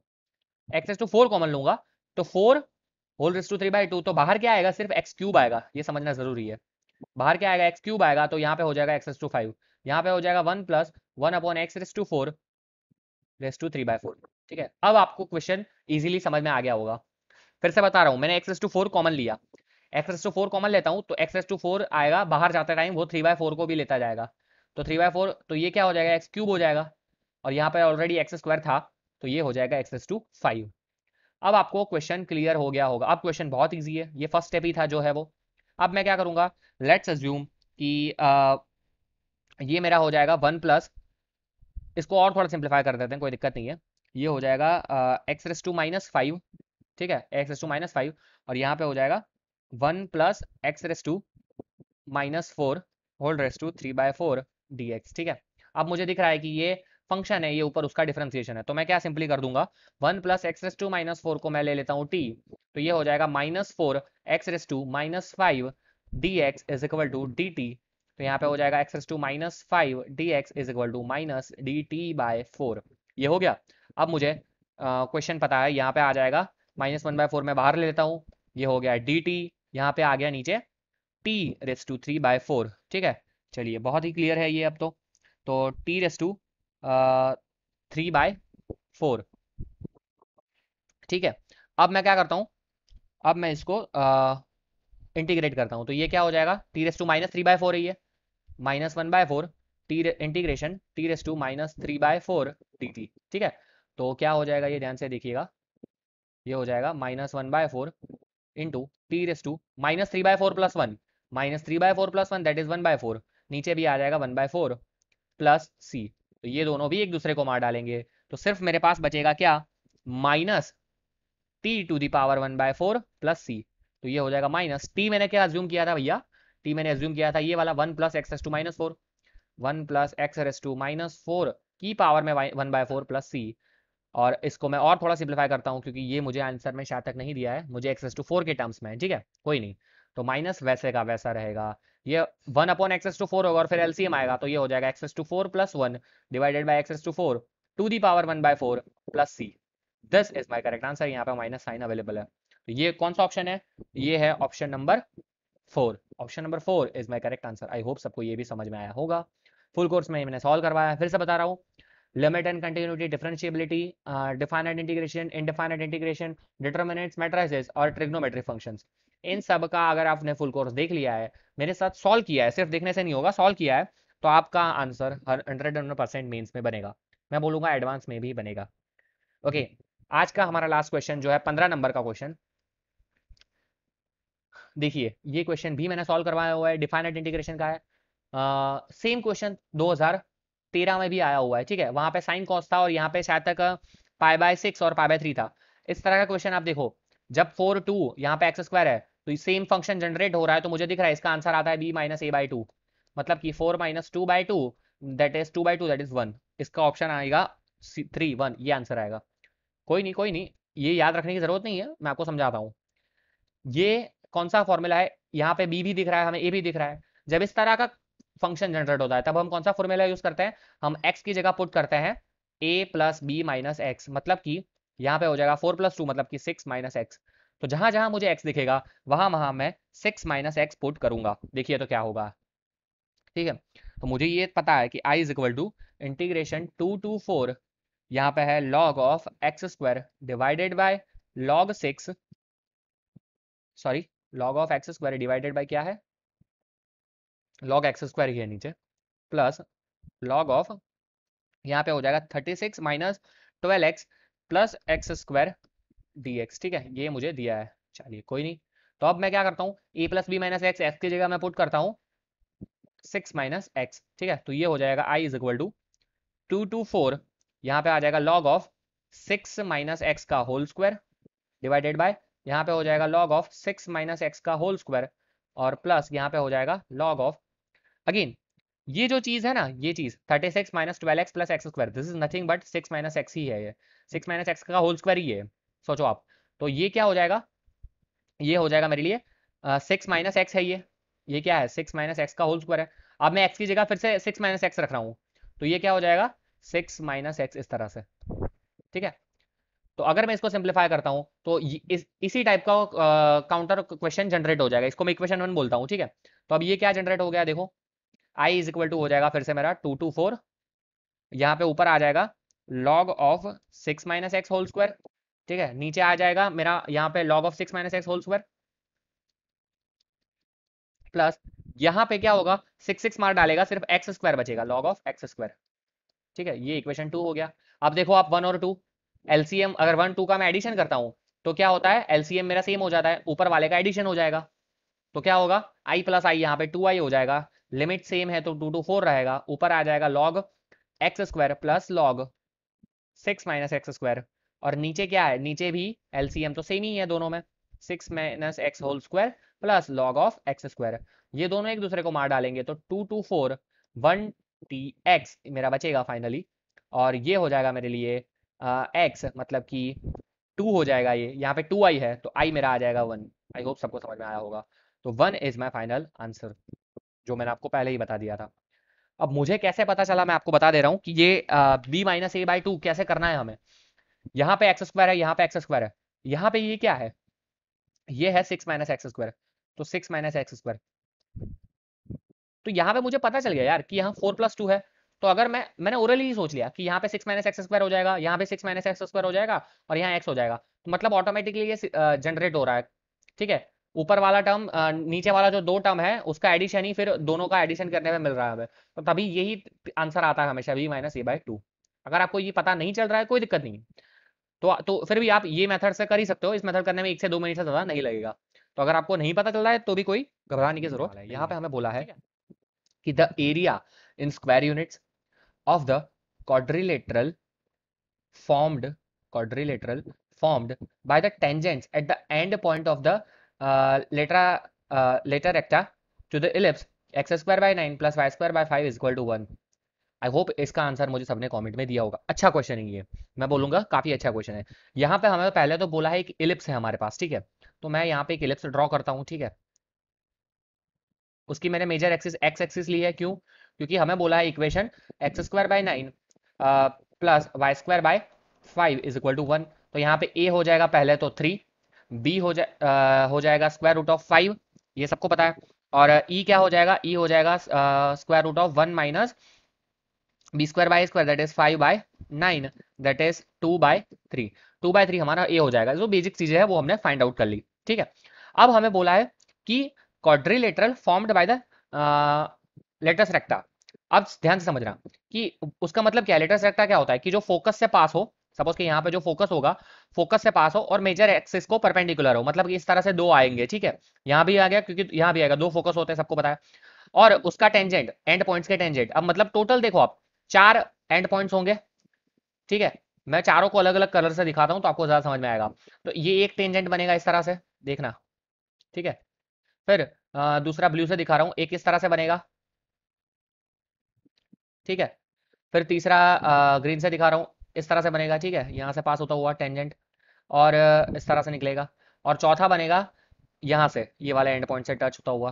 तो ये चार टेंजेंट बनेगी और इससे जो हमारा ये बीच वाला जो पोर्शन में आप देख रहे हो, ठीक है? वो हमारा क्वाड्रिलेटर बन रहा है, उसका हमें एरिया फाइंड करना है। अब एक चीज़ मैं आपको समझा दूँ कि ये जो पूरा होता है, ये पूरा सिमेट्रिक है, ठीक है? तो अगर मैं सिर्फ़ ये ऊपर वाला ट्राइंगल का जो इसको जिसको अभी मैं शेड कर रहा हूँ, ठीक है? ये वाला ट्राइंगल देखना। ये वाला जिसको मैंने पूरा शेड किया है। अगर मैं इसका एरिया फाइंड कर लूँ, ठीक है, और उसके मल्टीप्लाई में कितना कर दूँ? फोर ठीक है तो मुझे क्या मिल जाएगा? टोटल जो एरिया है, वो मुझे मिल जाएगा। ये जो एरिया है, इतना मैं फाइंड कर लूँ और मल्टीप्लाई में फोर कर दूँ तो ये तीनों भी उसमें ऐड हो जाएँगे और मुझे पूरा एरिया मिल जाएगा। आई होप ये, इतना तक सब कुछ सब कुछ क्लियर हुआ होगा। अब अब हमें क्या पूछा है? तो अब हमारा टास्क हो गया कि इसका एरिया फाइंड करना। तो इसका एरिया कैसे फाइंड करेंगे पहले तो? तो आप देखो ध्यान से कि ये एक जो पॉइंट है यहाँ पे ये टेंजेंट टच कर रहा है और एक यहाँ पे टच कर रहा है ठीक है? तो अब वो एरिया कैसे फाइंड करते हैं वो हम देख लेते हैं ठीक है? इसमें थोड़ा सा सोचने की ज़रूरत है थोड़ा सा। एक्चुअली में इसका फॉर्मूला भी अवेलेबल है। अगर आपको इसका फॉर्मूला याद है तो आप फॉर्मूला भी पुट कर सकते हो कि जब भी इस तरह से लेटर सेक्टर में से पास होता हुआ अगर आ, हमारा आ, क्या बोलते हैं रोम क्वाड्रिलेटरल है ठीक है? यहाँ पे बोला है क्वाड्रिलेटरल है जो रोमबस होता है एक्चुअली रोमबस ही है। तो ये जो रोमबस है उसका अगर एरिया पूछा हो तो उसके पास हमारा हमारे पास फॉर्मूला पे है। Two a square by e ये फॉर्मूला भी हमारे पास अवेलेबल है। तो अगर आप यहाँ पे वैल्यू पुट करोगे two into nine by e क्या था? टू बाई थ्री तो आपको आंसर मिल जाएगा ट्वेंटी सेवन एक ये भी तरीका है ट्वेंटी सेवन हमारा करेक्ट आंसर है ठीक है? एक ये भी तरीका है अगर आपको फॉर्मूला याद है तो। अगर फॉर्मूला बाई चांस आपको याद नहीं है तो आपको क्या करना पड़ेगा कि आ, ये एंड पॉइंट फाइंड करना पड़ेगा ठीक है? तो आप सोचो कि ये जो एंड पॉइंट है ये एंड पॉइंट तो आ, ये एंड पॉइंट की वैल्यू क्या होगी? तो ये होता है हमारा a a comma b square by a I hope ये तो सबको पता ही होगा. A comma b square b square by a plus और माइनस बी स्क्वायर बाई होता है एक्चुअली लेकिन जो माइनस वाला कोऑर्डिनेट होता है वो किसके लिए होता है? वो आ, ये जो नीचे वाला पॉइंट है वो नीचे वाले पॉइंट के लिए माइनस वाला कोऑर्डिनेट होता है ठीक है? तो ए कॉमा प्लस और माइनस बी स्क्वायर ये तो है ही हमारे पास एक ऑप्शन तो अब यहाँ पे ए की वैल्यू क्या होगी, आप बताओ मुझे। ठीक है? तो ए की वैल्यू क्या हो जाएगी? देखो, ध्यान से देखो। थोड़ा सा सोचने की ज़रूरत है इसमें। A comma b square by a तो ए ई ए हमें पता है थ्री और ये पता है टू बाय थ्री तो ये हो जाएगा two comma b square by a क्या है?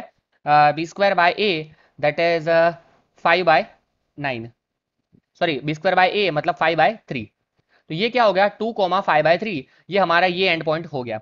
ठीक है? चलो ये भी हमें पता चल गया।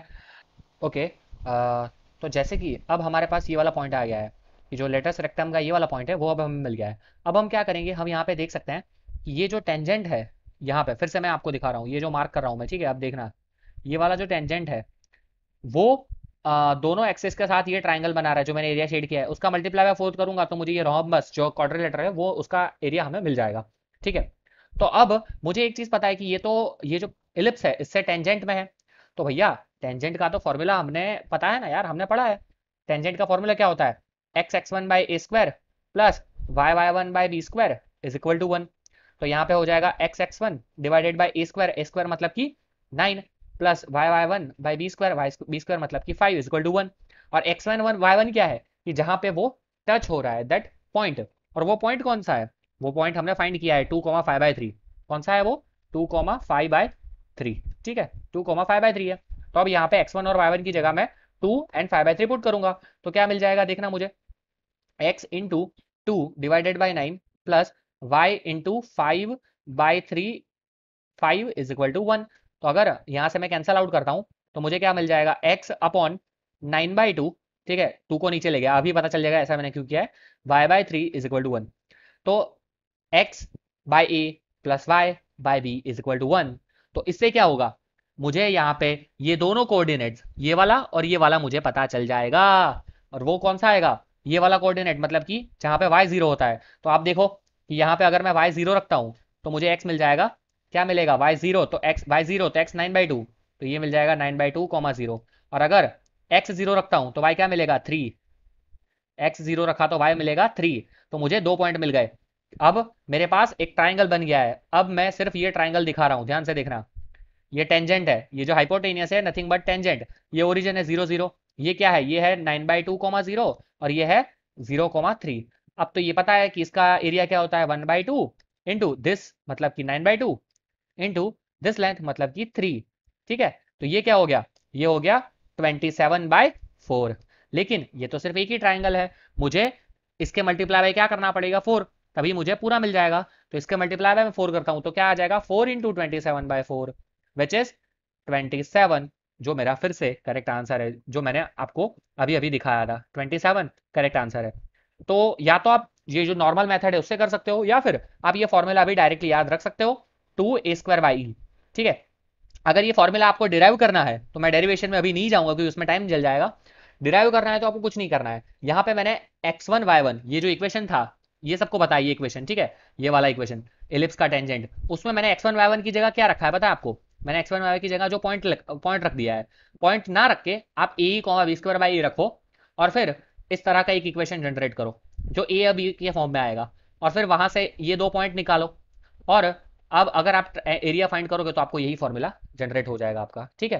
तो आई होप ये भी एक तरीका है और ये भी एक तरीका है, आपको क्वेश्चन पता चल गया होगा, ठीक है? कोई नहीं, चलो। ओके जो नेक्स्ट क्वेश्चन है हमारा वो है डिफरेंशियल इक्वेशन का। यहाँ पे बोला है हमें let y by x y of x be the solution of the differential equation x log x d y by d x plus y is equal to two x log x where x greater than और equal to one then y of e y of e मतलब कि क्या है? Y of e मतलब कि particular solution बोला गया है अल्टीमेटली हमें ठीक है? बहुत सिंपल है ये। सी uh, की वैल्यू अल्टीमेटली नहीं आएगी। वाई ऑफ़ ई हमें फाइंड करना है। तो हमें इसका सिंप्लीफिकेशन करके हम वाई निकालेंगे और मतलब फ़ंक्शन निकालेंगे और उसमें ए की वैल्यू पुट कर देंगे। तो हमारा आंसर मिल जाएगा।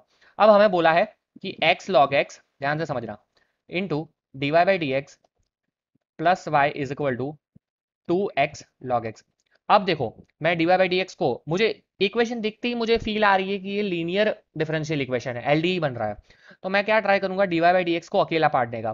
तो अकेला मैं करता हूँ उसको। तो ये क्या हो जाएगा y by x log x is equal to ये डिवाइड हो जाएगा तो यहाँ पे आ जाएगा सिर्फ़ टू देखो, ये हो गया. डीवाई बाई डी एक्स है. यहाँ y into f of x is equal to q of x मतलब कि ये हो गया मेरा L D E linear differential equation तो अब हमें उसका सॉल्यूशन तो पता है, ठीक है? तो पहले तो इंटीग्रेटल इंटीग्रेटिंग फैक्टर फाइंड करना पड़ेगा. Integrating factor is equal to e raise to integration p of x d x अब यहाँ पे देखो e integration p of x मतलब कि यहाँ पे जो वाई का कोफिशेंट है वो, y का कोफिशेंट क्या है? ये वाला है y का कोफिशेंट मतलब कि x one upon x log x one upon x log x d x अब ये क्या है? आप देखो, इसको मैं ऐसे तो लिख ही सकता हूँ यार, ऐसे क्वेश्चन मैंने करवाए हुए हैं। इसको मैं लिख सकता हूँ one by x by log x d x तो मतलब कि लॉग एक्स का डिफरेंशिएशन ऊपर है। मतलब कि फ़ंक्शन उसके ऊपर उसका डिफरेंशिएशन तो ये हो जाएगा e raise to log of log x ठीक है? तो ई e और लॉग फिर कैंसिल हो जाएँगे तो अल्टीमेटली हमारा बच बच जाएगा लॉग एक्स तो हमारा इंटीग्रेटिंग फैक्टर भी आ गया है। तो अब हमें सॉल्यूशन तो पता ही है, सबको सॉल्यूशन पता होना चाहिए, भैया एग्ज़ाम नज़दीक आ रही है। Y into integrating factor is equal to integration q of x into integrating factor d x plus c ये तो सबको फॉर्मूला पता ही होना चाहिए। Y into integrating factor y into integrating factor मतलब कि log x integration q of x मतलब कि टू और इंटीग्रेटिंग फैक्टर मतलब कि log x d x plus c ठीक है? अब यहाँ पे वाई लॉग एक्स तो वैसे का वैसा ही रहेगा और इसका मुझे करना पड़ेगा u v d x integration by parts तो टू मैंने कांस्टेंट ले लिया और इसका इंटीग्रेशन अगर मैं अंदर, अंदर करूँगा तो क्या हो जाएगा? एक्स लॉग एक्स यहाँ पे आ जाएगा एक्स लॉग एक्स फिर माइनस uh, आएगा इसका डिफरेंशिएशन वन बाय एक्स फिर एक्स फिर वन और फिर एक्स ठीक है? ये आप थोड़ा प्रैक्टिस करोगे तो आपको भी पता चल जाएगा ये कैसे आया है। U v d x ultimately apply किया अगर आपको ये नहीं पता चल रहा है तो आप यू वी डी एक्स करके आराम से कर सकते हो। तो ये मुझे मिल गया, ठीक है? यहाँ तक मुझे, ये मेरा सॉल्यूशन मिल गया मुझे कंप्लीट अब मुझे कंडीशन दी है क्या? X greater than equal to one बोल दिया है और वाई ऑफ़ ई फाइंड करने के लिए बोला है, ठीक है? तो अब मैं क्या करता हूँ let's put x is equal to one अगर मैं x is equal to one put करता हूँ। X is equal to one put करता हूँ। तो क्या होता है देखो एक्स इज़ इक्वल टू अगर यहाँ पे वन पुट करूँगा तो लॉग वन क्या हो जाएगा? Zero two into one into log one again zero minus zero sorry minus क्या आएगा? एक्स की जगह हम पुट कर रहे हैं वन प्लस सी तो यहाँ से मुझे सी क्या मिलेगा पता है? सी मुझे मिलेगा टू ये क्वेश्चन अच्छा इसीलिए है क्योंकि सी की वैल्यू फाइंड करने के लिए हमें कोई कंडीशन नहीं दी है। देखो आप सी की वैल्यू फाइंड करने के लिए आपको कोई कंडीशन सेपरेटली दी नहीं है। लेकिन आपको समझना पड़ेगा कि ये क्या बोलते हैं कि ये लॉग वाला फ़ंक्शन है। लॉग के लिए अगर मैं x is equal to one put करूँगा तो लॉग वन ज़ीरो हो जाता है। और क्वेश्चन इसी तरह से जनरेट किया है इन लोगों ने कि वाई की यहाँ पे वैल्यू ही नहीं है। वाई कुछ भी आएगा, कुछ फ़र्क नहीं पड़ेगा, क्योंकि लॉग वन तो ज़ीरो ही होना है। ठीक है? तो आई होप सबको मैंने समझ में आ गया हो कि मैंने x is equal to one यहाँ पे क्यों लिया क्योंकि मुझे पता है लॉग वन क्या होता है ज़ीरो ठीक है? और फिर मैंने यहाँ पे x is equal to one put किया और मुझे ज़ीरो ये करके सी मिल गया। अब सी मुझे टू मिल गया है तो मेरा फाइनल इक्वेशन जो मेरा फाइनल एफ़ ऑफ़ एक्स बन जाएगा। ठीक है? मेरा एफ़ ऑफ़ यहाँ पे वाई ऑफ़ एक्स लिखा तो मैं भी वाई ऑफ़ एक्स लिख देता हूँ। जो वाई ऑफ़ एक्स बनेगा, वो मेरा बन जाएगा। Y log x is equal to two into x log x minus x plus two ये मेरा बन जाएगा। अब वाई ऑफ़ ई चाहिए मुझे। तो यहाँ हर जगह ई e पुट कर दूँगा। लॉग ई होता है वन और यहाँ पे आ जाएगा मेरा टू ई लॉग ई होता है one minus e plus two तो यहाँ पे आ जाएगा, y is equal to two e minus e मतलब कि zero plus two that implies के y is equal to two ये मेरा आंसर हो गया। आई होप सबको ये समझ में आया होगा। y is equal to two option number three is my correct answer ठीक है? आगे बढ़ते हैं हमारे नेक्स्ट क्वेश्चन की ओर। ओके अगेन मैं बोलूँगा ये मैथ्स का रिलेटेड ही नहीं है, थोड़ा बेसिक एप्टीट्यूड टाइप का क्वेश्चन नहीं है। यहाँ पे बोला है हमें कि the number of the points having both coordinates as integers मतलब कि कोई भी अगर हमारा पास पॉइंट होता है तो उसके दो इंटीजर अगर हम टू में ले रहे हैं तो एक्स कॉमा वाई लेते हैं। तो दोनों के दोनों पॉइंट मुझे कैसे चाहिए? इंटीजर्स वो क्लियरली बोल दिया है। इंटीजर्स चाहिए, ठीक है? दोनों के दोनों पॉइंट मुझे चाहिए integers that lies in the interior interior बोला है ठीक है? आउट आउट नहीं ऑन नहीं interior of the triangle with vertices zero zero zero four one and four one zero अब मैं पहले तो एक ट्राइंगल अच्छे से ड्रॉ करके आपको थोड़ा समझाने का ट्राई करता हूँ यहाँ पे। एक सेकेंड पहले नया पेज ले लेते हैं हम लोग। और फिर यहाँ से मैं शेप्स में जाके एक ट्राइंगल लूँगा तो आपको थोड़ा अच्छे से क्लियर होगा। ट्राइंगल अवेलेबल है यहाँ पे। हाँ। ठीक है। राइट एंगल ट्राइंगल अरे! हाँ ओके इस तरह से है। ये आ गया। ओके चलिए। ये हो गया। अब देखो राइट एंगल ट्राइंगल मैंने क्यों लिया? क्योंकि मुझे क्लियरली पता चल गया था यार पहले ही कि ये मुझे बोला है ज़ीरो कोमा ज़ीरो फिर एक पॉइंट मुझे बोला था ज़ीरो कोमा फोर वन और एक मुझे बोला था फोर वन कोमा ज़ीरो तो मुझे पता चल गया कि राइट एंगल ट्राइंगल है। अब दूसरी चीज़ दूसरी चीज़ क्या होगी कि भैया इसके अंदर ही सारे पॉइंट्स होने चाहिए, वो तो हमें पता है, चलो कोई नहीं। तो उसके पहले मैं क्या करता हूँ let's find out the equation of this line ये जो लाइन है हाइपोटेनियस है, उसका इक्वेशन फाइंड कर लेते हैं। तो वो तो एक्चुअली दिख ही रहा है कि ये है x plus y is equal to forty one ये दिख रहा है। अगर नहीं पता चलता है तो आपके पास फॉर्मूला है ही यार, y minus y one is equal to m into x minus x one इसमें भी आप आ, कोई भी एक पॉइंट ले लो इन दोनों में से कोई भी एक पॉइंट ले लो m क्या हो जाएगा आपका?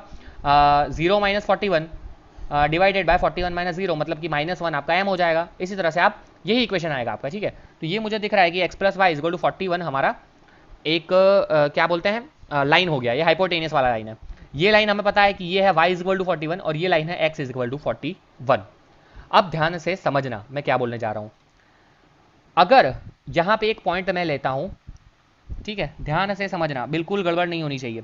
अगर मैं पॉइंट लेता हूँ वन एक्स यहाँ पे एक्स वन ही होगा तो ये क्या हो जाएगा? फोर्टी क्योंकि दोनों का एडिशन तो फोर्टी वन है। थोड़ा और आगे जाता हूँ तो क्या हो जाएगा? टू कॉमा थर्टी नाइन थोड़ा और आगे जाता हूँ, यहाँ पे।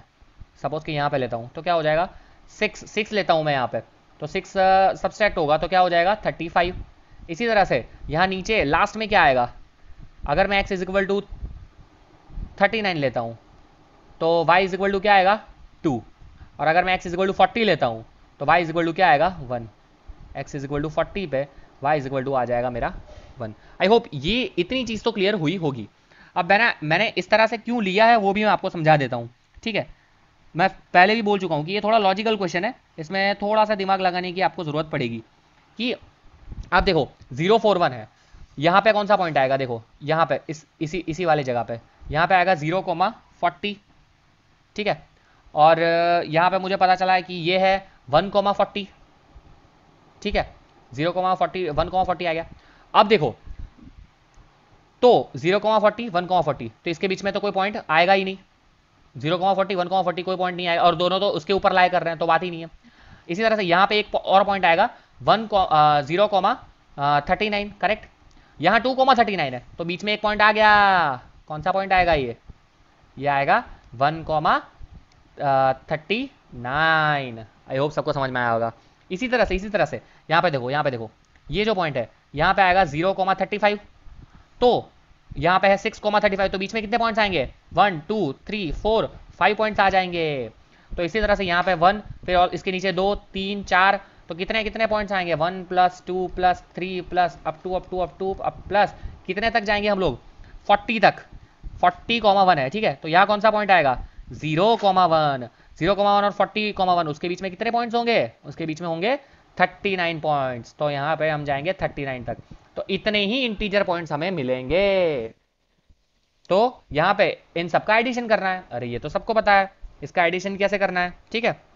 तो ये हो जाएगा फ़र्स्ट पॉइंट पता है लास्ट पॉइंट पता है नंबर ऑफ़ डिजिट्स पता है. तो ये हो जाएगा n by two into a plus l ठीक है ये तो सीक्वेंस सीरीज़ वाला फॉर्मूला है। N by two a plus l अगर फ़र्स्ट और लास्ट टर्म पता है तो।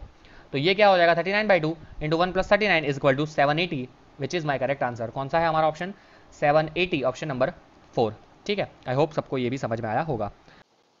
ओके okay, तो हमारा जो फोर्थ नंबर का क्वेश्चन है अभी हम वो देख रहे हैं कि the number of common tangents to the circle x square plus y square minus four x minus six y minus twelve is equal to zero and x square plus y square plus six s plus eighteen y plus twenty six is equal to zero is what number of common tangent पूछा है। तो इसकी theory बहुत simple है कि जब भी आपको नंबर ऑफ़ कॉमन टेंजेंट चाहिए, तब आपको एक चीज़ फाइंड करनी रहती है कि सर्कल कैसे बिहेव कर रहे हैं। या तो वो एक्सटर्नली टच कर रहे हैं इंटरनली टच कर रहे हैं इंटरसेक्ट कर रहे हैं। अगर ये सारी चीज़ आप फाइंड कर लोगे तो आपको आपका आंसर मिल जाएगा। ठीक है? तो वो फाइंड कैसे करते हैं? सिंपल सेंटर और रेडियस का कंपैरिजन करके। ठीक है? कैसे? जो ये हमारा पहला सर्कल है, उसको मैं लिखता हूँ। X square plus y square minus four x minus six y minus twelve is equal to zero अगर मैं इसको कंपेयर करूँ स्टैंडर्ड इक्वेशन से तो जी हो जाएगा मेरा टू और एफ़ हो जाएगा मेरा थ्री और सी हो जाएगा मेरा माइनस बारह। तो यहाँ से सेंटर मेरा सेंटर क्या हो जाएगा? सेंटर हो जाएगा टू कोमा थ्री ठीक है? एक्चुअली हाँ सेंटर हो जाएगा मेरा two comma three x square plus y square के साथ हम टू जी एक्स के साथ अगर कंपेयर करते हैं तो ये माइनस टू आएगा। और सेंटर माइनस जी माइनस है वो सबको है ठीक है? तो टू कोमा थ्री आ जाएगा अल्टीमेटली यहाँ से भी हम देख सकते हैं। रेडियस हो जाएगा square root of g square plus f square minus c सबको पता है ये भी। तो यहाँ से ये हो जाएगा फोर नाइन और माइनस माइनस प्लस ट्वेल्व तो ये हो जाएगा फाइव करेक्ट ये मुझे मिल गया सेंटर और ये मुझे मिल गया रेडियस ये फ़र्स्ट की बात है सेकंड का देख लेते हैं। सेकंड में मुझे बोला है x square plus y square plus six x plus eighteen y plus twenty six is to zero again यहाँ से सेंटर क्या हो जाएगा, आप बताओ सेंटर हो जाएगा यहाँ पे, ये हो जाएगा minus three minus nine correct r radius इसके लिए क्या हो जाएगा square root of g square g square मतलब कि nine plus eighty one minus छब्बीस तो ये हो जाएगा nine eighty one ninety, sixty four sixty four मतलब कि एट। अब मुझे मिल गया सी वन ये इसको सी टू बोल देता हूँ, इसको आर टू बोल देता हूँ, और इसको बोल देता हूँ मैं सी वन इसको मैं बोल देता हूँ आर वन ठीक है? अब मैं फाइंड करता हूँ हमारा common method c one c two c one c two के बीच का डिस्टेंस फाइंड करता हूँ तो क्या होता है देखो square root of c one क्या था? सी वन यहीं पर लिख लेता हूँ मैं सी वन था मेरा टू कोमा थ्री तो आसानी होगा। तो ये हो जाएगा two plus three whole square plus three plus nine whole square मतलब कि five square plus twelve square that is five twelve thirteen thirteen आ गया, ठीक है? तो मतलब c one c two thirteen आ गया। और और और आर वन है फाइव और आर टू है एट तो r one plus r two भी क्या होगा? R one plus r two क्या होगा? Five plus eight that is also thirteen मतलब मतलब मतलब कि c one c two is equal to r one plus r two इसका मतलब क्या है? ये किसकी कंडीशन है भैया? दैट मीन्स कि सर्कल कर रहा है एक्सटर्नली टच एक्सटर्नली टच कर रहे हैं तभी ये पॉसिबल है। तो जब भी सर्कल एक्सटर्नली टच करते हैं तो कितने टेंजेंट मिलते हैं? जिन लोगों को पता है पढ़ा है उनको पता है कि तीन कॉमन टेंजेंट मिलते हैं। तो हमारा करेक्ट आंसर हो जाएगा option number three number of tangents आ जाएगी तीन। नहीं पता है तो मैं यहाँ पे समझा देता हूँ ठीक है? अच्छे से मैं फिगर ड्रॉ करके समझाऊँगा तो थोड़ा आपको ज़्यादा समझ में आएगा। शेप्स ले लेता हूँ मैं यहाँ पे पहले तो। आ, सर्कल लेता हूँ दो ठीक है? ये आ गया मेरा पहला सर्कल और ये आ गया मेरा दूसरा सर्कल ठीक है? चलिए। ओके तो थोड़ा एनलार्ज करके दिखाता हूँ तो आपको अच्छे से समझ में आएगा। ठीक है? ध्यान से समझना और एक दूसरा वाला थोड़ा उसका छोटा रखता हूँ। तो अब इसको मैं मूव करता हूँ। देखो ये मैंने करवा दिया एक्सटर्नली टच अब आप खुद से सोचो। आ, ओके चलो। जस्ट अ सेकंड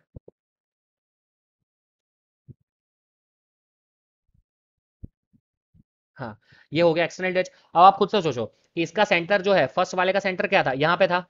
ठीक है, ये था सी वन और ये था सी टू अब इन दोनों के बीच का डिस्टेंस मतलब कि ये डिस्टेंस जिसको मैं पेन से ही दिखा रहा हूँ स्ट्रेट लाइन लेके कर रहा हूँ तो देखो, ये वाला डिस्टेंस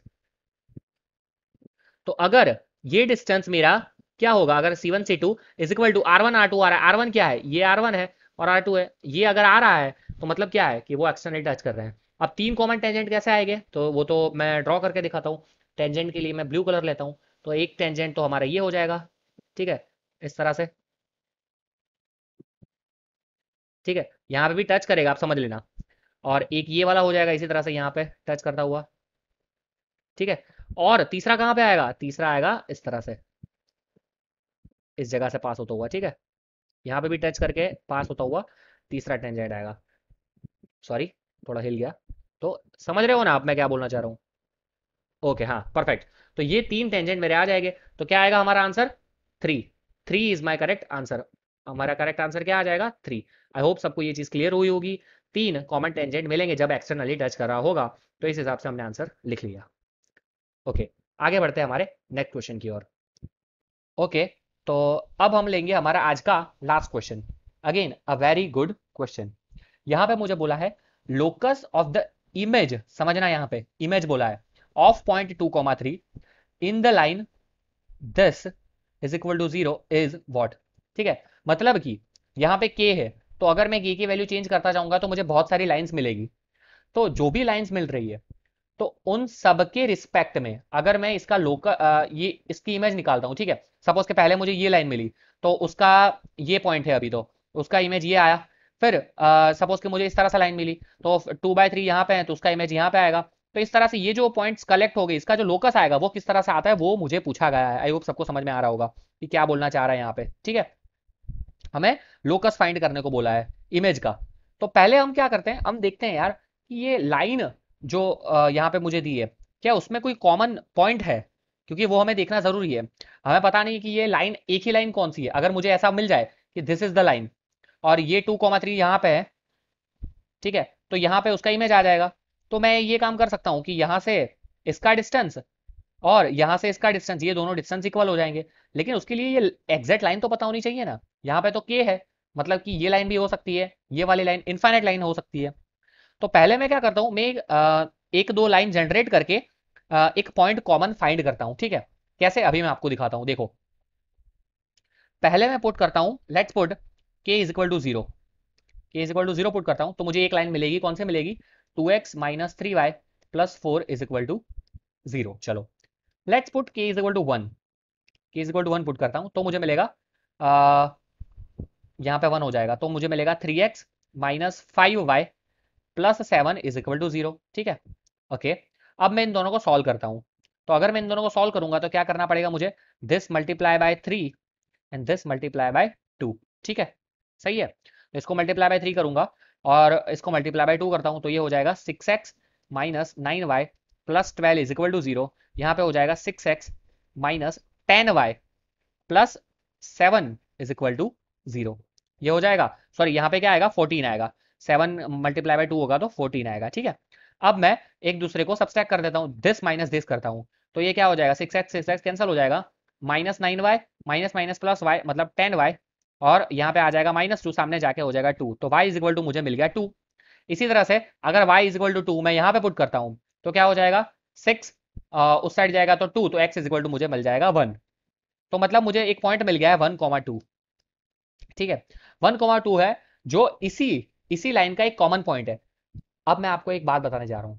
आप के की वैल्यू पाँच ले लो, दस ले लो, सौ ले लो, एक हज़ार ले लो. आपका जो मना है आप के की वैल्यू लो. ठीक है? मैंने यहाँ ज़ीरो वर लिया है.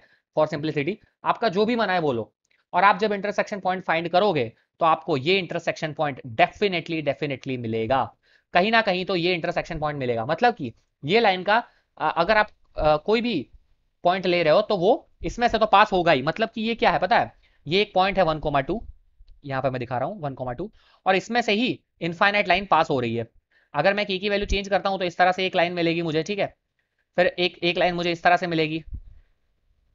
ठीक है? फिर एक लाइन मुझे इस तरह से मिलेगी। जैसे जैसे मैं के की वैल्यू चेंज करता जाऊँगा, मुझे लाइन डिफरेंट डिफरेंट मिलती जाएगी। ठीक है? इसी तरह से मुझे एक ये लाइन मिल जाएगी। तो सारी की सारी के की वैल्यू चेंज करने पर मुझे लाइन मिलती जाएगी। बहुत सारी ऐसी लाइन इनफाइनाइट लाइंस मुझे मिलेगी हर एक के की डिफरेंट वैल्यू पे लिए। ठीक है? और एक लाइन मुझे इस तरह से भी डेफिनेटली मिलेगी, जो हॉरिजॉन्टल होगी। ठीक है? तो आई होप सबको क्लियर हो चुका होगा कि ये वन कोमा टू कैसे आया। अब एक और चीज़ मैं समझाता हूँ आपको कि हमारा पॉइंट जो है वो है टू कोमा थ्री जिसका हमें इमेज फाइंड करना है। तो लेट्स अज्यूम मैं उसको रेड से दिखाता हूँ।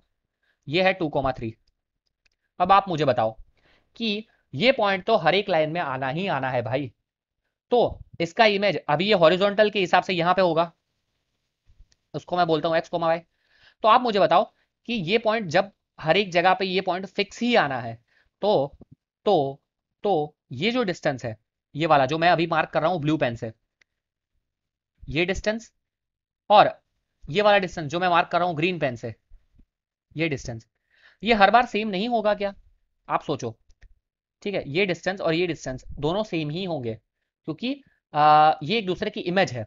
अभी हॉरिजॉन्टल पे तो आपको दिख रहा है लेकिन आप सोचो कि जब ये पॉइंट यहाँ पे होगा two comma three with respect to suppose कि यही है टू कॉमा थ्री तो उसका इमेज यहाँ पे आएगा तब भी ये सेम ही आएगा।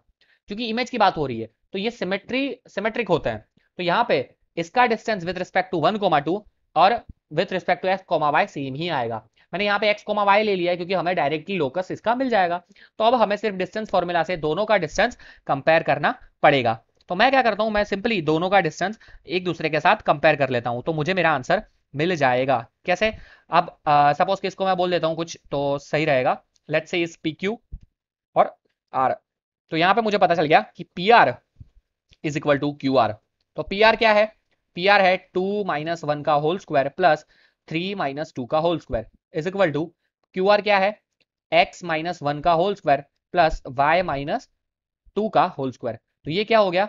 This will give me x minus one का whole square plus y minus two का whole square is equal to क्या आएगा? यहाँ पे वन आ जाएगा, यहाँ पे भी one one plus one two ठीक है? टू तो मतलब कि ये क्या हो गया भैया? ये देखो, ये जनरेट क्या हुआ है? This is nothing but a circle और उसका सेंटर क्या है? सेंटर है वन कॉमा टू और रेडियस क्या है? रेडियस है इसका टू टू नहीं रूट टू यहाँ पे आर स्क्वायर होता है तो रूट टू तो centre one comma two centre one comma two and radius root two ऐसा मुझे मिलेगा सर्कल और वही होगा मेरी इमेज का लोकस तो हमारा आंसर क्या होगा? हमारा आंसर होगा circle of radius root two option number three is my correct answer I hope सबको ये क्वेश्चन समझ सॉल्यूशन के। अगर अभी तक आपने चैनल को सब्सक्राइब नहीं किया है तो चैनल को सब्सक्राइब कर दीजिए और बेल आइकन ज़रूर से दबा दीजिए क्योंकि उससे क्या होगा कि आने वाले वीडियोज़ की नोटिफिकेशन आपको मिलते रहेगी ठीक है? आज का हमारा पहला क्वेश्चन है ये वाला। बहुत ही सुंदर क्वेश्चन ये। यहाँ पर बोला है the area of the region described by x comma y y square less than to equal to 2x greater greater than equal to 4x minus 1 मतलब कि दो चीज़ें हैं, एक है हमारे पास पैराबोला और एक है हमारे पास स्ट्रेट लाइन पहले तो एक ग्राफ अच्छे से ड्रॉ करेंगे तो हमें एकदम क्लियर पिक्चर समझ में आएगा। एरिया अंडर द कर्व की जब भी बात होती है, तब हमारा ग्राफ ड्रॉ करना बहुत ही ज़रूरी हो जाता है। तो मैं यहाँ पे ग्राफ ड्रॉ करूँगा पहले तो। ठीक है? ध्यान से समझना। ओके अब यहाँ पे देखो कि y square is equal to two x है पहला तो। ठीक है? मतलब कि इस तरह से ग्राफ होगा इसका। रेड से ही मैं बना रहा हूँ यहाँ पे। ये हो गया मेरा पैराबोला वेटेक्स ज़ीरो ज़ीरो ही होगा इसका। ठीक है? चलिए। दूसरा है हमारा y is equal to four x minus one तो आ, ये कहाँ इसके कहाँ इंटरसेक्ट करेगा ये एक्स एक्सिस को और वाई एक्सिस को? तो उसके लिए x is equal to zero put करूँगा। एक्स ज़ीरो पुट करूँगा तो वाई मुझे मिलेगा माइनस वन ठीक है? एक्स ज़ीरो पुट करने पे क्या मिलेगा? वाई माइनस वन तो यहाँ पे आ जाएगा। एक्स ज़ीरो तो वाई माइनस वन मतलब एक पॉइंट मेरा आ जाएगा ज़ीरो कॉमा माइनस वन ठीक है? और दूसरा पॉइंट कौन सा आएगा? आ, दूसरा पॉइंट मेरा आ जाएगा जब मैं वाई ज़ीरो रखता हूँ। तो वाई अगर ज़ीरो रखता हूँ मैं ठीक है? वाई अगर ज़ीरो रखता हूँ तो वाई ज़ीरो पे फोर एक्स माइनस वन तो वो हो जाएगा x is equal to one by four ठीक है? वाई ज़ीरो तो यहाँ पे आएगा वन बाय फोर समथिंग ठीक है? तो ये हो जाएगा one by four comma zero और यहाँ पे आ जाएगा वो वाला point zero comma minus one ठीक है? आई होप सबको समझ में आया होगा। अब इन दोनों में से पास होती हुई एक लाइन ड्रॉ करेंगे हम लोग इस तरह से। एक सेकेंड उसको डिफरेंट कलर से दिखाता हूँ तो थोड़ा ज़्यादा समझ में आएगा। ओके तो इन दोनों में से पास होती हुई ये मैंने लाइन ड्रॉ कर दी। ठीक है? ओके बहुत बढ़िया। तो हमें क्या बोला है यहाँ पे? कि the area of the region described by this. तो इसके बीच का जो एरिया है वो हमें फाइंड करना है ठीक है? एक्चुअली एक्चुअली हमें ये चेक करने की इनइक्वलिटी चेक करने की ज़रूरत भी नहीं है यहाँ पे। uh, क्योंकि यहाँ पे हमें बोला ही गया है कि इसके बीच का एरिया ऐसा नहीं है कि ग्रेटर देन और वो सेटिस्फाई करे इस तरह से। हमें क्लियरली बोला गया है कि बीच का एरिया तो बीच का एरिया कौन सा है वही हम फाइंड कर सकते हैं ठीक है? ये वाला जो मैं अभी शेड कर रहा हूँ। बीच का एरिया मतलब कि ये वाला। डिस्क्राइब्ड बोला है ठीक है? तो ये जो मैं शेड कर रहा हूँ वही एरिया हमें फाइंड करना है। ठीक है? आई होप सबको ये क्लियर हुआ होगा। अब यहाँ पे ये एरिया फाइंड करना है तो पहले हमें ये दोनों पॉइंट फाइंड करने पड़ेंगे। एक ये वाला पॉइंट और एक ये वाला पॉइंट जहाँ पे दोनों इंटरसेक्ट हो रहे हैं। तो वो पहले हम फाइंड कर लेते हैं। हमारा कव है y square equal to two x और दूसरा है y is equal to four x minus one ठीक है? तो यहाँ से मैं लिख सकता हूँ क्या? कि y square by two is equal to क्या हो जाएगा? Y square by two is equal to y plus one by four x को मैंने दोनों साइड इक्वेट किया है। तो यहाँ से मुझे क्या मिलेगा? यहाँ से मुझे मिलेगा two y square minus y minus one is equal to zero. That means कि एक हो जाएगा two y plus one and y minus one is equal to zero. तो वाई मिल जाएगा मुझे माइनस वन बाई टू और वाई मिल जाएगा मुझे वन। ठीक है? तो माइनस वन बाई टू कहाँ आएगा? ध्यान से समझना। ये आ गया मेरा माइनस वन बाई टू और ये वाला पॉइंट आ गया मेरा वन। ठीक है? अब बहुत ही लास्ट इसका जो केस है वो मैं समझा रहा हूँ। देखो यहाँ से यहाँ ये डॉटेड लाइन जो मैं करता हूँ अभी लेट से ब्लैक से करता हूँ तो ज़्यादा समझ में आएगा। ये देखो ये जो ब्लैक से डॉटेड लाइन में की ये और यहाँ से यहाँ इस, इस तरह का। ये एरिया कौन बना रहा है? लाइन तो ये पूरा ट्राइंगल आ जाएगा। देखो मैं जहाँ अभी मेरा कर्सर घूम रहा है वो देखो ठीक है? ये पूरा एरिया आ गया। और उसके बाद मैं क्या करता हूँ उसमें से ही मैं सबसेक्ट करूँगा ये आ, जो पैराबोला बना रहा है। पैराबोला कितना एरिया बना रहा है? देखो आ, ये यहाँ से जाएगा और इतना ठीक है? उतना एरिया अगर मैं सबसेक्ट करता हूँ पैराबोला वाला तो मुझे जो ये मैंने शेड किया है, वो एरिया मुझे मिल जाएगा। मतलब कि मुझे क्या करना है? लाइन का एरिया माइनस पैराबोला का area between minus one by two to one ये हमारा सॉल्यूशन हो गया। ठीक है? क्या करता हूँ मैं? फिर से बता रहा हूँ। ओके तो जैसे मैंने आपको बताया कि ये जो लाइन वाला एरिया है, ठीक है? और अभी हम बात किसकी कर रहे हैं? ध्यान से देखना। अभी हम बात कर रहे हैं with respect to y axis की। तो ये जो लाइन एरिया बनाएगा, ये उसमें से हम ये पैराबोला वाला एरिया सबस्ट्रैक्ट कर देंगे ठीक है? कैसे होगा? तो minus one by two to one x d y x d y मतलब डी वाई क्यों लिखा मैंने? क्योंकि यार वाई में वैल्यू चेंज हो रही है ना हम विद रिस्पेक्ट टू वाई ले रहे हैं तो इसलिए मैंने डी वाई लिखा है ठीक है? एक्स डी वाई और उसमें भी क्या करना है? Line minus parabola. तो minus one by two to one line का इक्वेशन क्या था? लाइन के लिए एक्स क्या था? आ, इसको मैं पहले लिख लेता हूँ x two minus x one थोड़ा सा समझ में आएगा ठीक है? तो लाइन का क्या था? लाइन का लाइन मतलब एक्स टू है। लाइन क्या था हमारा? Y plus one by four minus ये हो जाएगा वाई स्क्वायर बाई टू यहाँ पे डी वाई बहुत ही सिंपल तरीके से। अगर आपको इतना पता चल गया, तब आपका आंसर तय है। अब यहाँ से सिर्फ़ सिंप्लीफिकेशन है। ठीक है? तो ये क्या हो जाएगा देखो? Y square by two plus y divided by four यहाँ पे आ जाएगा माइनस वन बाई टू से वन है और minus y cube by six again minus one by two से वन है। ठीक है? अब मैं पहले माइनस वन ओके अब पहले अपर लिमिट पुट करेंगे माइनस लिखने के बाद लोअर लिमिट कैलकुलेशन में मिस्टेक नहीं होनी चाहिए. वन पुट करूँगा तो यहाँ पे one by two plus one three by two three by two by four मतलब थ्री बाई एट फिर माइनस लिखने के बाद आएगा आ, क्या है यहाँ पे? Minus one by two minus one by two का स्क्वायर मतलब कि one by four one by four by two one by eight फिर यहाँ पे minus one by two one by eight minus one by two by four मतलब कि वो हो जाएगा थ्री बाई थर्टी टू ठीक है? और इसी तरह से यहाँ पे माइनस आएगा minus one three by thirty two आएगा ठीक है? और यहाँ पे ये क्या हो गया? माइनस तो है ही यहाँ पे। यहाँ पे आ जाएगा वन बाई सिक्स और यहाँ पे वन बाई टू है वन बाई एट तो यहाँ पर आ जाएगा plus one by forty eight चलिए, ठीक है। और अब इसको सिर्फ़ सिंप्लीफाई करना, ये हो जाएगा थ्री बाई एट प्लस यहाँ पे हो गया थ्री बाई थर्टी टू फिर माइनस लिखने के बाद वन बाय सिक्स फिर माइनस लिखने के बाद वन बाय फोर्टी एट ठीक है? तो अगर मैं सिंप्लीफाई करता हूँ तो आंसर मुझे मिलता है nine by thirty two is my correct answer आप सिंप्लीफिकेशन देख लेना। बहुत ही अच्छा क्वेश्चन था, थोड़ा बेसिक समझना ज़रूरी था, किस हिसाब से हमने इक्वेशन फाइंड किए, ठीक है? तो nine by thirty two fourth option is my correct answer I hope सबको समझ में आया होगा। आगे बढ़ते हैं हमारे नेक्स्ट क्वेश्चन की ओर। Okay okay. यहाँ पे बोला है again this is quite easy question मैं बोलूँगा। Let O be the vertex and Q be at Q be any point on the parabola x square is equal to eight y x square is equal to eight y मतलब कि major axis है y axis किस तरह से draw होगा? Next page पे draw करता हूँ मैं। ठीक है? तो ये हो गया और x axis y major axis y axis होगा तो ये आएगा मेरा इस तरह से। ठीक है? चलिए। और मुझे बोला गया है कि वर्टेक्स है ओ और कोई क्यू पॉइंट हमें बोला है। ठीक है? अब आगे बढ़ते हैं। If point P divides the line segment O Q internally in the ratio one is to three then the locus of P is what देखिए, अब क्या बोला है कि पी जो है, वो डिवाइड कर रहा है लाइन सेगमेंट ओ क्यू तो पहले line segment O Q draw करते हैं ग्रीन पेन से। तो यहाँ से ये ओ है सपोज़ के। तो यहाँ से इस तरह से ये लाइन सेगमेंट है, ठीक है। अब ओ क्यू जो है सॉरी पी जो है, वो ओ क्यू को डिवाइड कर रहा है वन एस टू थ्री में।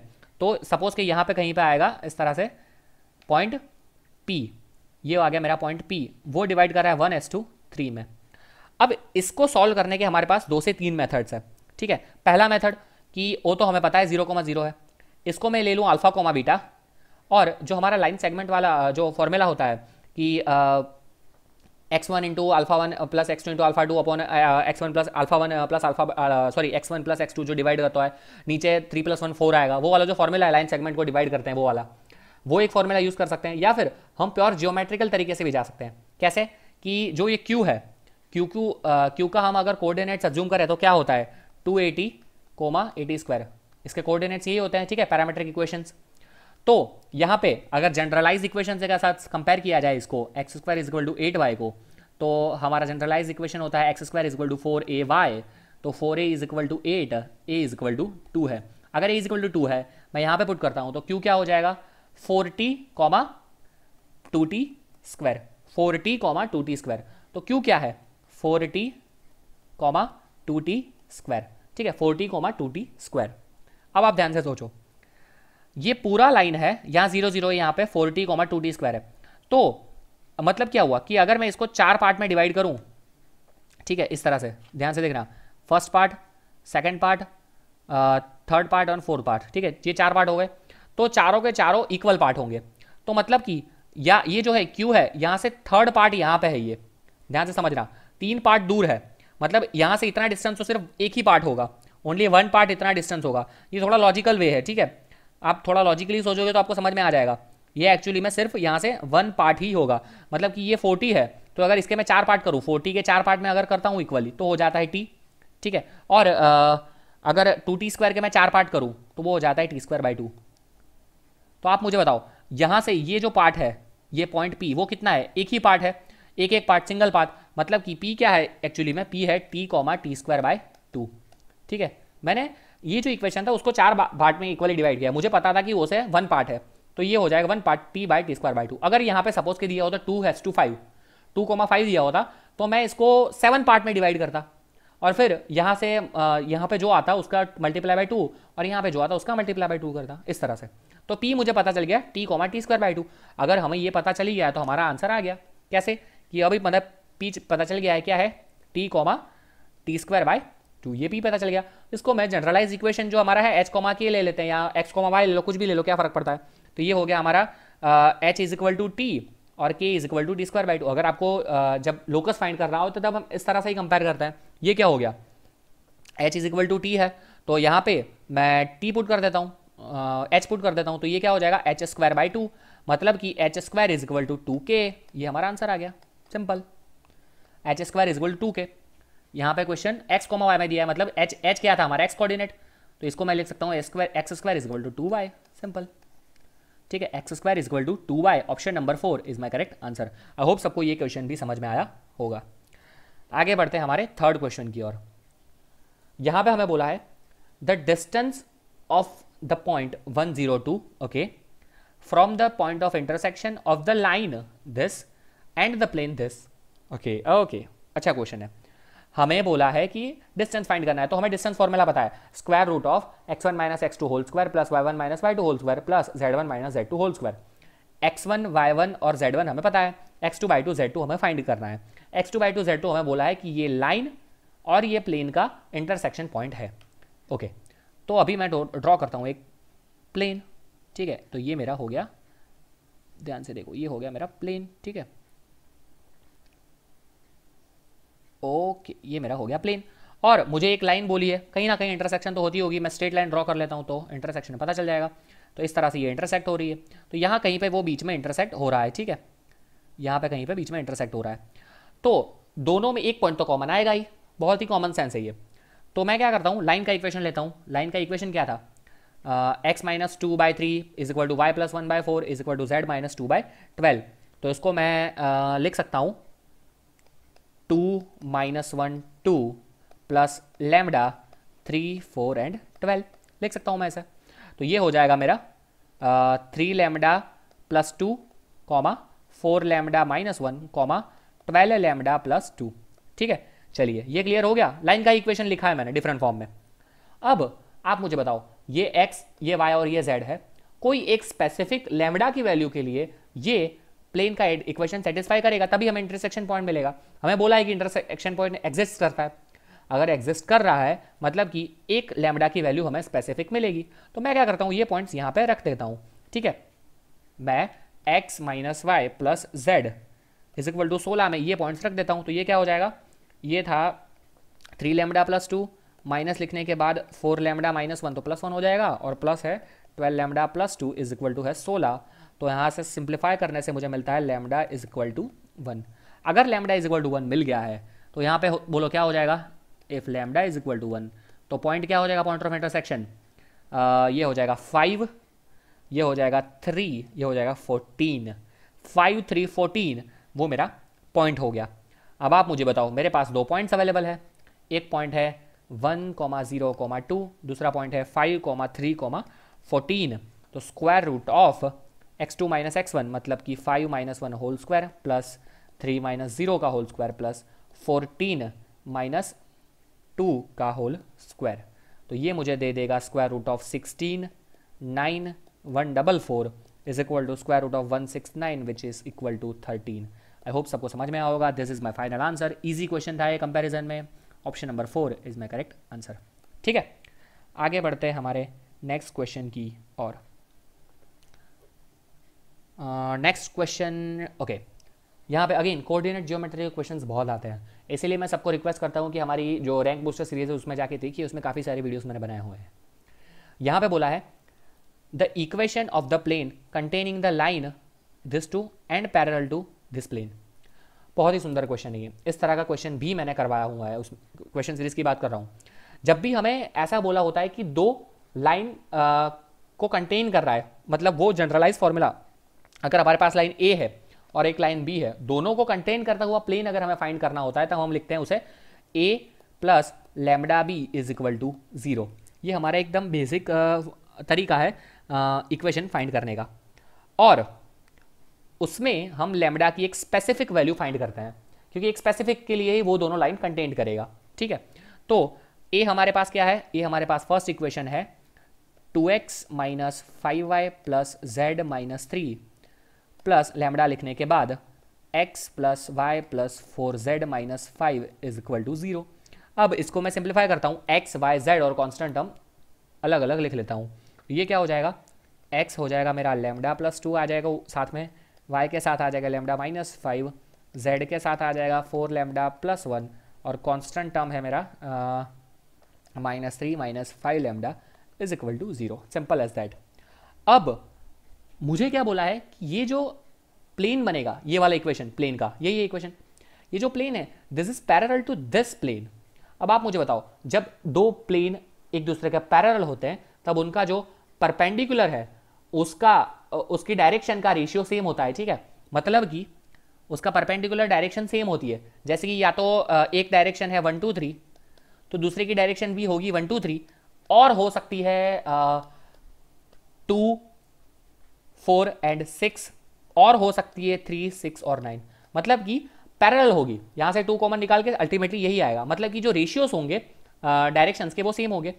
तो यहाँ पे आप मुझे बताओ, ये जो हमारा इक्वेशन हमने जनरेट किया है, उसमें डायरेक्शन क्या है? उसमें डायरेक्शन है lambda plus two lambda minus five और फोर लैमडा प्लस वन सबको पता है एक्स वाई जेड के कोऑर्डिनेट्स ही हमारे डायरेक्शन होते हैं। और आगे वाला जो प्लेन था, ये वाला प्लेन उसमें डायरेक्शंस क्या थे? वन थ्री सिक्स उसमें क्या थे? वन थ्री सिक्स तो दोनों के रेशियोज कैसे होने चाहिए? सेम रेशियोज का मतलब क्या है? Lambda plus two by one is equal to lambda minus five by three is equal to four lambda plus one by six ये तीनों की तीनों वैल्यू सेम होनी चाहिए। ठीक है? अब मैं क्या करता हूँ? दो दो को कंपेयर करता हूँ। इस दोनों को और फिर इन दोनों को। ऐसा क्यों करना है? ऐसा भी हो सकता है कई बार कि लेमडा की वैल्यू मिले ही ना। सेम वैल्यू मिलेगी तभी हमारा आंसर आएगा। सेम वैल्यू नहीं मिल रही है तो ऐसा लिख देना है कि नहीं, ये पॉसिबल नहीं है। पहले इन दोनों को कंपेयर करता हूँ। तो ये क्या है? Lambda plus two by one is equal to lambda minus five by three तो ये हो जाएगा three lambda plus six is equal to lambda minus five तो ये हो जाएगा two lambda two lambda is equal to minus eleven lambda is equal to minus eleven by two दूसरा दो कंपेयर करता हूँ तो वो है lambda minus five by three is equal to four lambda plus one by six तो ये हो जाएगा six lambda minus thirty is equal to twenty lambda plus five sorry यहाँ पे थ्री है। तो ये हो जाएगा twelve lambda twelve lambda plus three तो ये दे देगा मुझे। Again lambda is equal to यहाँ पे आ जाएगा माइनस इलेवन बाई टू मतलब कि लेमडा की एक स्पेसिफिक वैल्यू आ रही है lambda is equal to minus eleven by two हमारा आंसर आ गया। ये जो लेमडा की वैल्यू आई है, उसको मैं हमारे इक्वेशन में पुट कर देता हूँ। हमारा इक्वेशन कौन सा था? हमारा इक्वेशन जो लेमडा वाला जनरेट किया था हमने। दिस इक्वेशन इस इक्वेशन में सिर्फ़ लेमडा की जगह मैं पुट करूँगा माइनस इलेवन बाई टू तो मेरा आंसर मुझे मिल जाएगा। ठीक है? तो वो क्या हो जाएगा? Two X minus five Y plus Z minus three plus minus eleven by two है एक्चुअली तो minus eleven by two into क्या आ जाएगा? X plus Y plus four Z minus five is equal to zero और यहाँ से अगर मैं सिंप्लीफाई करता हूँ तो मुझे आंसर मिलता है X plus three Y plus six Z minus seven is equal to zero this is my final answer I hope सबको ये चीज़ समझ में आई होगी। ठीक है? बहुत ही अच्छा क्वेश्चन था ये। X plus Y plus six Z is equal to seven मतलब option number three is my correct answer आगे बढ़ते हैं हमारे आज के लास्ट क्वेश्चन जो है फिफ्थ नंबर का, उसकी ओर। देखो, ये क्वेश्चन भी एक्चुअली थोड़ा बेसिक है, लेकिन सिंपल है। वैक्टर्स वाला है। यहाँ पे हमें बोला है A B C be the three non zero vectors मतलब कि किसी का भी मोड है, mod A mod B mod C zero नहीं है नॉन ज़ीरो है। मतलब कि mod A not equal to zero B not equal to zero and mod C not equal to zero such that no two of them are collinear कोई दो collinear भी नहीं है। अगर कोलिनियर होते तो उनका क्रॉस प्रोडक्ट क्या हो जाता? ज़ीरो हो जाता, लेकिन कोलिनियर भी नहीं है। And A cross B cross C is equal to one by three mod B into mod C into A vector दिया है। If theta is between the angle B and C B और C के बीच का angle theta है। ध्यान रखना भैया। बी और सी के बीच का एंगल क्या है? Theta. Then a value of sine theta a value of sine theta a value of then a value of actually a नहीं है then a value of sine theta sorry ये English का ये है। तो हमें अल्टीमेटली साइन थीटा की value find करनी है। ठीक है? देखिए थोड़ा सा सोचेंगे तो बहुत ईजी क्वेश्चन है A cross B cross C इस तरह से दिया है हमें। ठीक है? Is equal to one by three B C mod mod लिखो या ठीक है लिख लेता हूँ मैं इंटू ए इस तरह से है ठीक है? अब इसको हमें पता है इसको हम कैसे लिख सकते हैं? आ, आ, अगर तीन प्रोडक्ट इस तरह से क्रॉस प्रोडक्ट है तो हम इसको लिख सकते हैं A dot C into B minus B dot C into A is equal to यहाँ पे है one by three B C A minus ठीक है कुछ नहीं है आके दैट्स इट अब ध्यान से समझना अब यहाँ पे मुझे थोड़ा सा दिमाग लगाना थोड़ा मुझे कंपैरिजन करना है। अब यहाँ पे देखो, यहाँ पे आपको ए वेक्टर दिख रहा है, यहाँ पे मुझे ए वेक्टर दिख रहा है। यहाँ पे मुझे माइनस बी सी दिख रहा है, ध्यान से समझना ध्यान से बिल्कुल समझना यहाँ पे मुझे माइनस बी सी दिख रहा है। अब मुझे पता है कि बी डॉट सी ये डॉट प्रोडक्ट है। अगर मुझे कहीं पे बी डॉट सी दिखता है तो मैं उसको लिख सकता हूँ बी सी कॉस्थिटा ठीक है? बी सी कॉस्थिटा और मुझे एक चीज़ पता है कि दोनों के बीच का एंगल थीटा इसलिए मैंने कॉस्थिटा लिखा। तो यहाँ पे मैं कंपेयर कर सकता हूँ इन दोनों को। अगर मैं इन दोनों को कंपेयर करता हूँ तो ये कंपेरिजन पॉसिबल है ठीक है? लेकिन साइमल्टेनियसली यहाँ पे देखो आ, ये वाला टर्म यहाँ पे नहीं है। मतलब कि क्या हो जाएगा? ये वाला टर्म यहाँ पे नहीं है। ये वाला टर्म यहाँ पे नहीं है। तो यहाँ पे ये ज़ीरो में काउंट कर लेता हूँ। मतलब कि ए डॉट सी क्या हो जाएगा? ज़ीरो अगर ए डॉट सी ज़ीरो है तो ध्यान से समझना ए डॉट सी ज़ीरो है ठीक है? तो इधर दिस पॉसिबल ये तो होगा ही होगा। ए डॉट सी ज़ीरो हो जाएगा हमारा। और एक हमारा हो जाएगा, यहाँ से अगर मैं कंपेयर करता हूँ तो यहाँ से कंपेयर करता हूँ तो क्या हो जाएगा? देखो, यहाँ से हो जाएगा B C cos theta is equal to one by three B C ठीक है? One by three B C क्योंकि ये मोड है, यहाँ पे भी मोड ही आता है actually mod B C mod B mod C cos theta तो ये दोनों एक दूसरे को कैंसिल कर देता है, और यहाँ पे माइनस साइन भी था, ठीक है? माइनस बी सी था। तो यहाँ पे आ जाएगा cos theta is equal to minus one by three अगर cos theta minus one by three है तो साइन थीटा क्या हो जाएगा? साइन थीटा हो जाएगा square root of one minus one by nine is equal to eight by nine two root two by three. Two root two by three. तो two root two by three is my correct answer. Sine theta two root two by three is my correct answer. I hope सबको ये चीज़ समझ में आई होगी। ठीक है? uh, फिर से बता रहा हूँ बहुत ही इंपॉर्टेंट क्वेश्चन है थोड़ा सा ध्यान से समझने की ज़रूरत है यहाँ पे आपको। Two root two by three और साइन uh, थीटा। फिर से बता दे रहा हूँ मैं आपको कि हमने सिंपल फॉर्मूला अप्लाई किया और सामने सामने सिर्फ़ कंपेयर किया है। यहाँ पे हमने, हमें एसी नहीं दिख रहा है एसी वाला कोई टर्म नहीं है। तो वो क्या हो जाएगा? बट ऑफ़ ऐसी चीज़ है, वो हो जाएगा ज़ीरो और हमें यहाँ पे ये वेक्टर दिख रहा है, यहाँ पे भी ये है। तो minus B dot C is equal to one by three B C हो जाएगा। Minus B minus B dot C ये डॉट प्रोडक्ट है। और ये one by three mod B mod C है। बी डॉट सी को हम कैसे लिख सकते हैं? बी सी कॉस थीटा और that is equal to one by three B C था तो हमने एक दूसरे को कंपेयर किया और हमारा आंसर आ गया है। ठीक है? बहुत ज़्यादा इसमें सोचने की ज़रूरत नहीं है। कई बार क्या होता है कि बच्चे थोड़ा ज़्यादा ही सोचते हैं इसमें कि ये किस तरह से सॉल्व होगा। ये सिर्फ़ एक सिंपल कंपेरिजन था ठीक है? इस तरह से हमारा फाइनल आंसर आ जाएगा। Two root two by three option number one two root two by three is my correct answer I hope सबको ये चीज़ पहला क्वेश्चन है। हमें यहाँ पे बोला है इफ़ ट्वेल्व आइडेंटिकल बॉल्स बारह बॉल है total to be placed in three identical boxes ठीक है? तो आप सोचो कि एक बॉल कहीं भी कोई भी एक बॉक्स में प्लेस होगा तो उसकी प्रोबेबिलिटी क्या हो जाएगी? वन बाई थ्री ठीक है बॉक्स में प्लेस होने की प्रोबेबिलिटी सक्सेस प्रोबेबिलिटी हो जाएगी वन बाई थ्री और फेलर की प्रोबेबिलिटी हो जाएगी two by three then the probability that one of the boxes contain exactly three balls तो मतलब हमें यहाँ पे ऐसा बोला गया है कि हमें एक चीज़ पता है कि सक्सेस की प्रोबेबिलिटी है वन बाय थ्री फेलियर की प्रोबेबिलिटी है टू बाई थ्री और हमें कितने बॉल्स चाहिए? थ्री uh, बॉल्स चाहिए out of twelve twelve box twelve balls तो हमें पता है कि ये तो बायोनोमल डिस्ट्रीब्यूशन है। तो डिस्ट्रीब्यूशन का फॉर्मूला हम यहाँ पे इस्तेमाल करेंगे। मतलब कि P of X is equal to N C R P to the power R Q to the power N minus R simple as that X हमें चाहिए थ्री एन हमें दिया है twelve into one by three यहाँ पे आ जाएगा three Q मतलब कि two by three twelve minus three मतलब कि नाइन ये हो गया। तो यहाँ पे ये हो जाएगा twelve sorry twelve into eleven into ten divided by six यहाँ पे हो जाएगा ये two to the power nine divided by three to the power nine plus three मतलब कि ट्वेल्व अगर इसको सिंप्लीफाई करता हूँ तो मुझे मिल जाएगा fifty five by three two by three eleven ये मेरा फाइनल आंसर आ गया। ठीक है, बहुत ही ईजी क्वेश्चन सबसे ईजी क्वेश्चन मैं बोलूँगा, इस पेपर का आप इसका मान सकते हो। Option number one correct answer आगे बढ़ते हैं हमारे नेक्स्ट क्वेश्चन की ओर।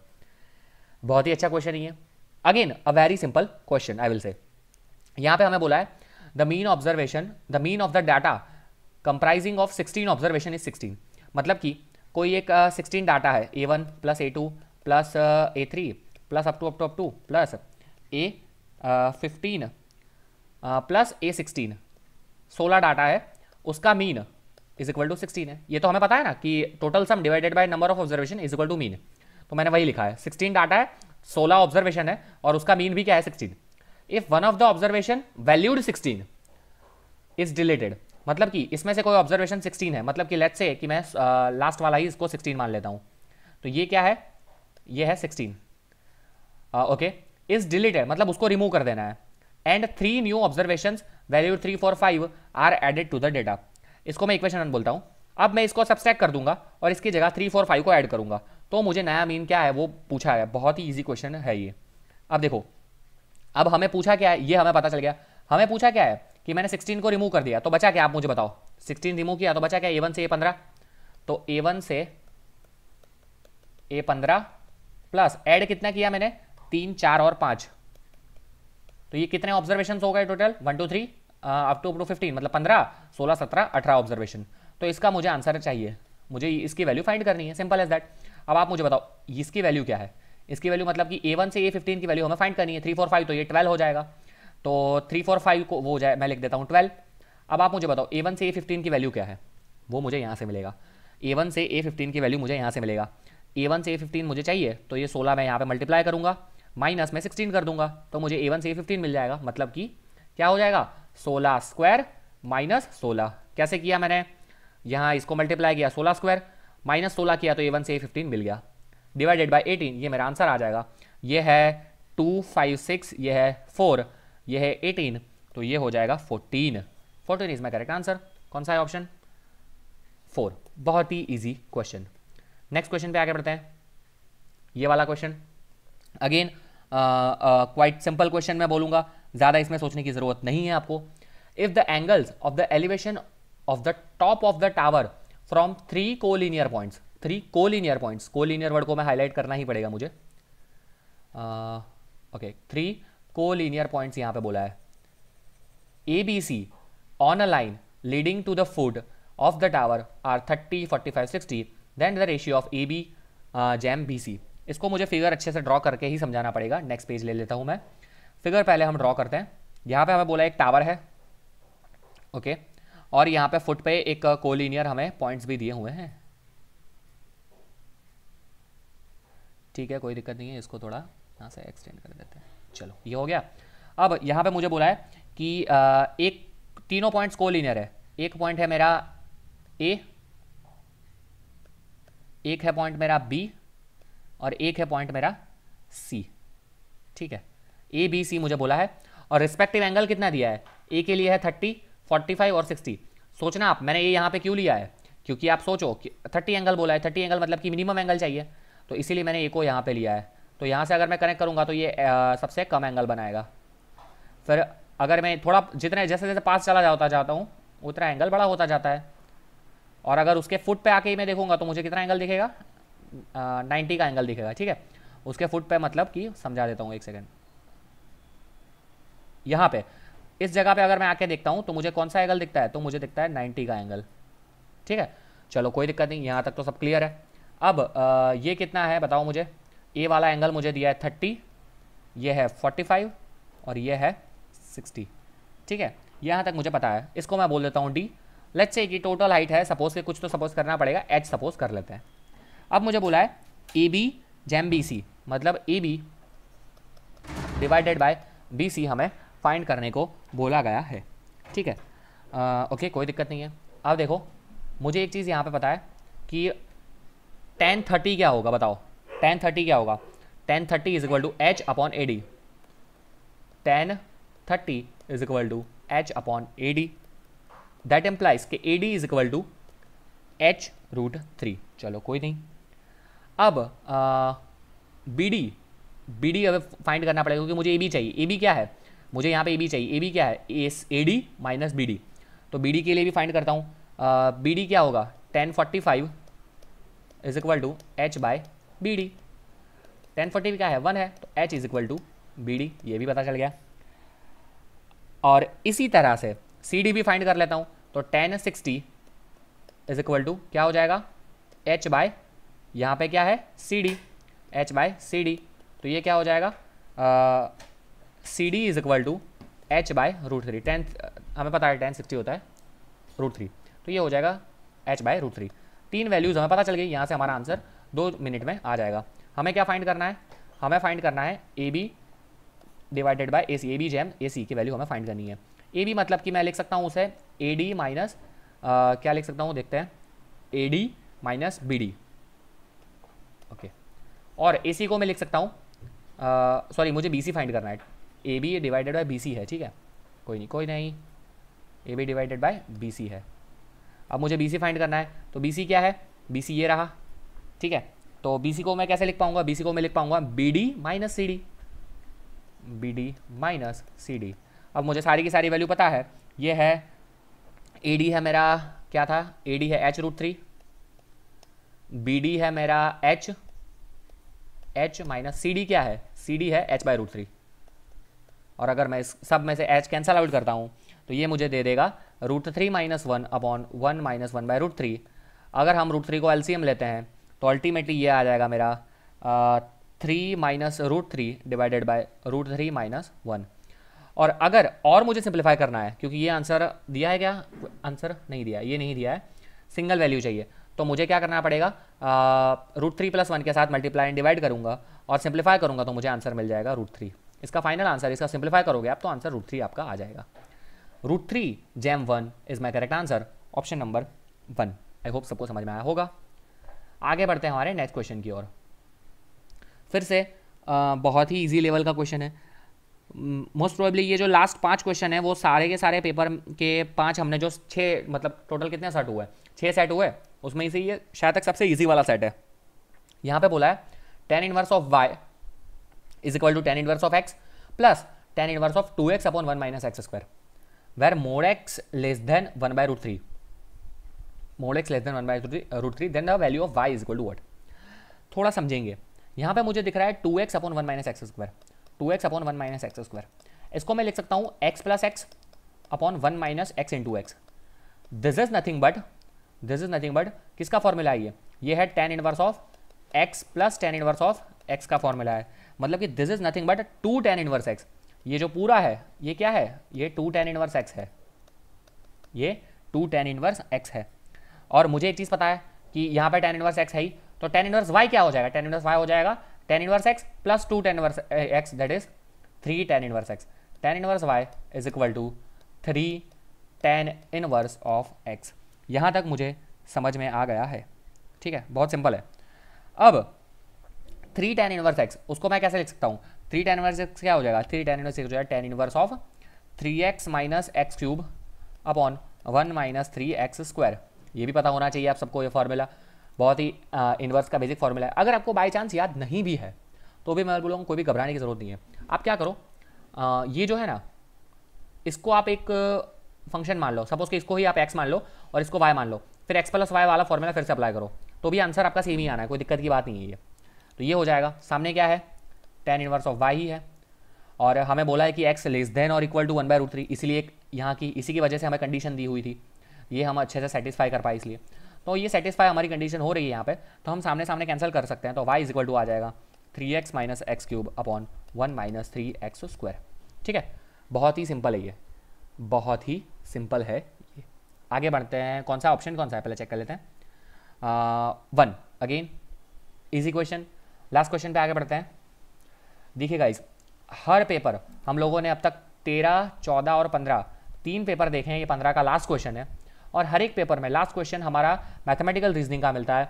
मैथमेटिकल रीजनिंग में बहुत ही ईजी क्वेश्चन आते हैं। आपका एक मार्क मतलब कि एक क्वेश्चन सही होना तो बनता ही है इसमें। बिल्कुल ईजी है सिर्फ़ आपको टेबल बनाना है और आपका आंसर आ जाएगा। ठीक है? मुझे क्या बोला है? नेगेशन ऑफ़ दिस याद रखना नेगेशन ऑफ़ दिस ये भी अंदर काउंट है। इसका पूरा नेगेशन मतलब कि क्या होगा? नेगेशन ऑफ़ दिस मतलब कि नेगेशन एस और negation R and negation S इस तरह से बोला है, ठीक है? ये नेगेशन वर्ड भूल मत जाना। कई बच्चे सिर्फ़ इतना करके फिर आंसर मार्क करते हैं, वो गलत है। इसका पूरे का नेगेशन बोला है, कोई नहीं, चलो। अब हम करते हैं थोड़ा क्वेश्चन आगे बढ़ते हैं। तो क्या होगा, देखिए, बहुत सिंपल है। एक टेबल बना लेता हूँ मैं। तो पहले आ जाएगा एस और आ जाएगा आर यहाँ पे हो जाएगा, ठीक है, यहाँ पे हो जाएगा टी टी एफ़ एफ़ यहाँ पे आएगा टी एफ़ टी एफ़ ये सबको पता है। अब मुझे नेक्स्ट कौन सी चीज़ चाहिए बताओ? नेक्स्ट मुझे चाहिए नेगेशन एस तो नेगेशन एस बना लेता हूँ मैं। या फिर पहले चलो ना आगे वाला बनाता है। नेगेशन आर एंड एस है, ठीक है। यहाँ पे ये नेगेशन नहीं है एक्चुअली यहाँ पे नेगेशन नहीं है, कोई नहीं, चलो।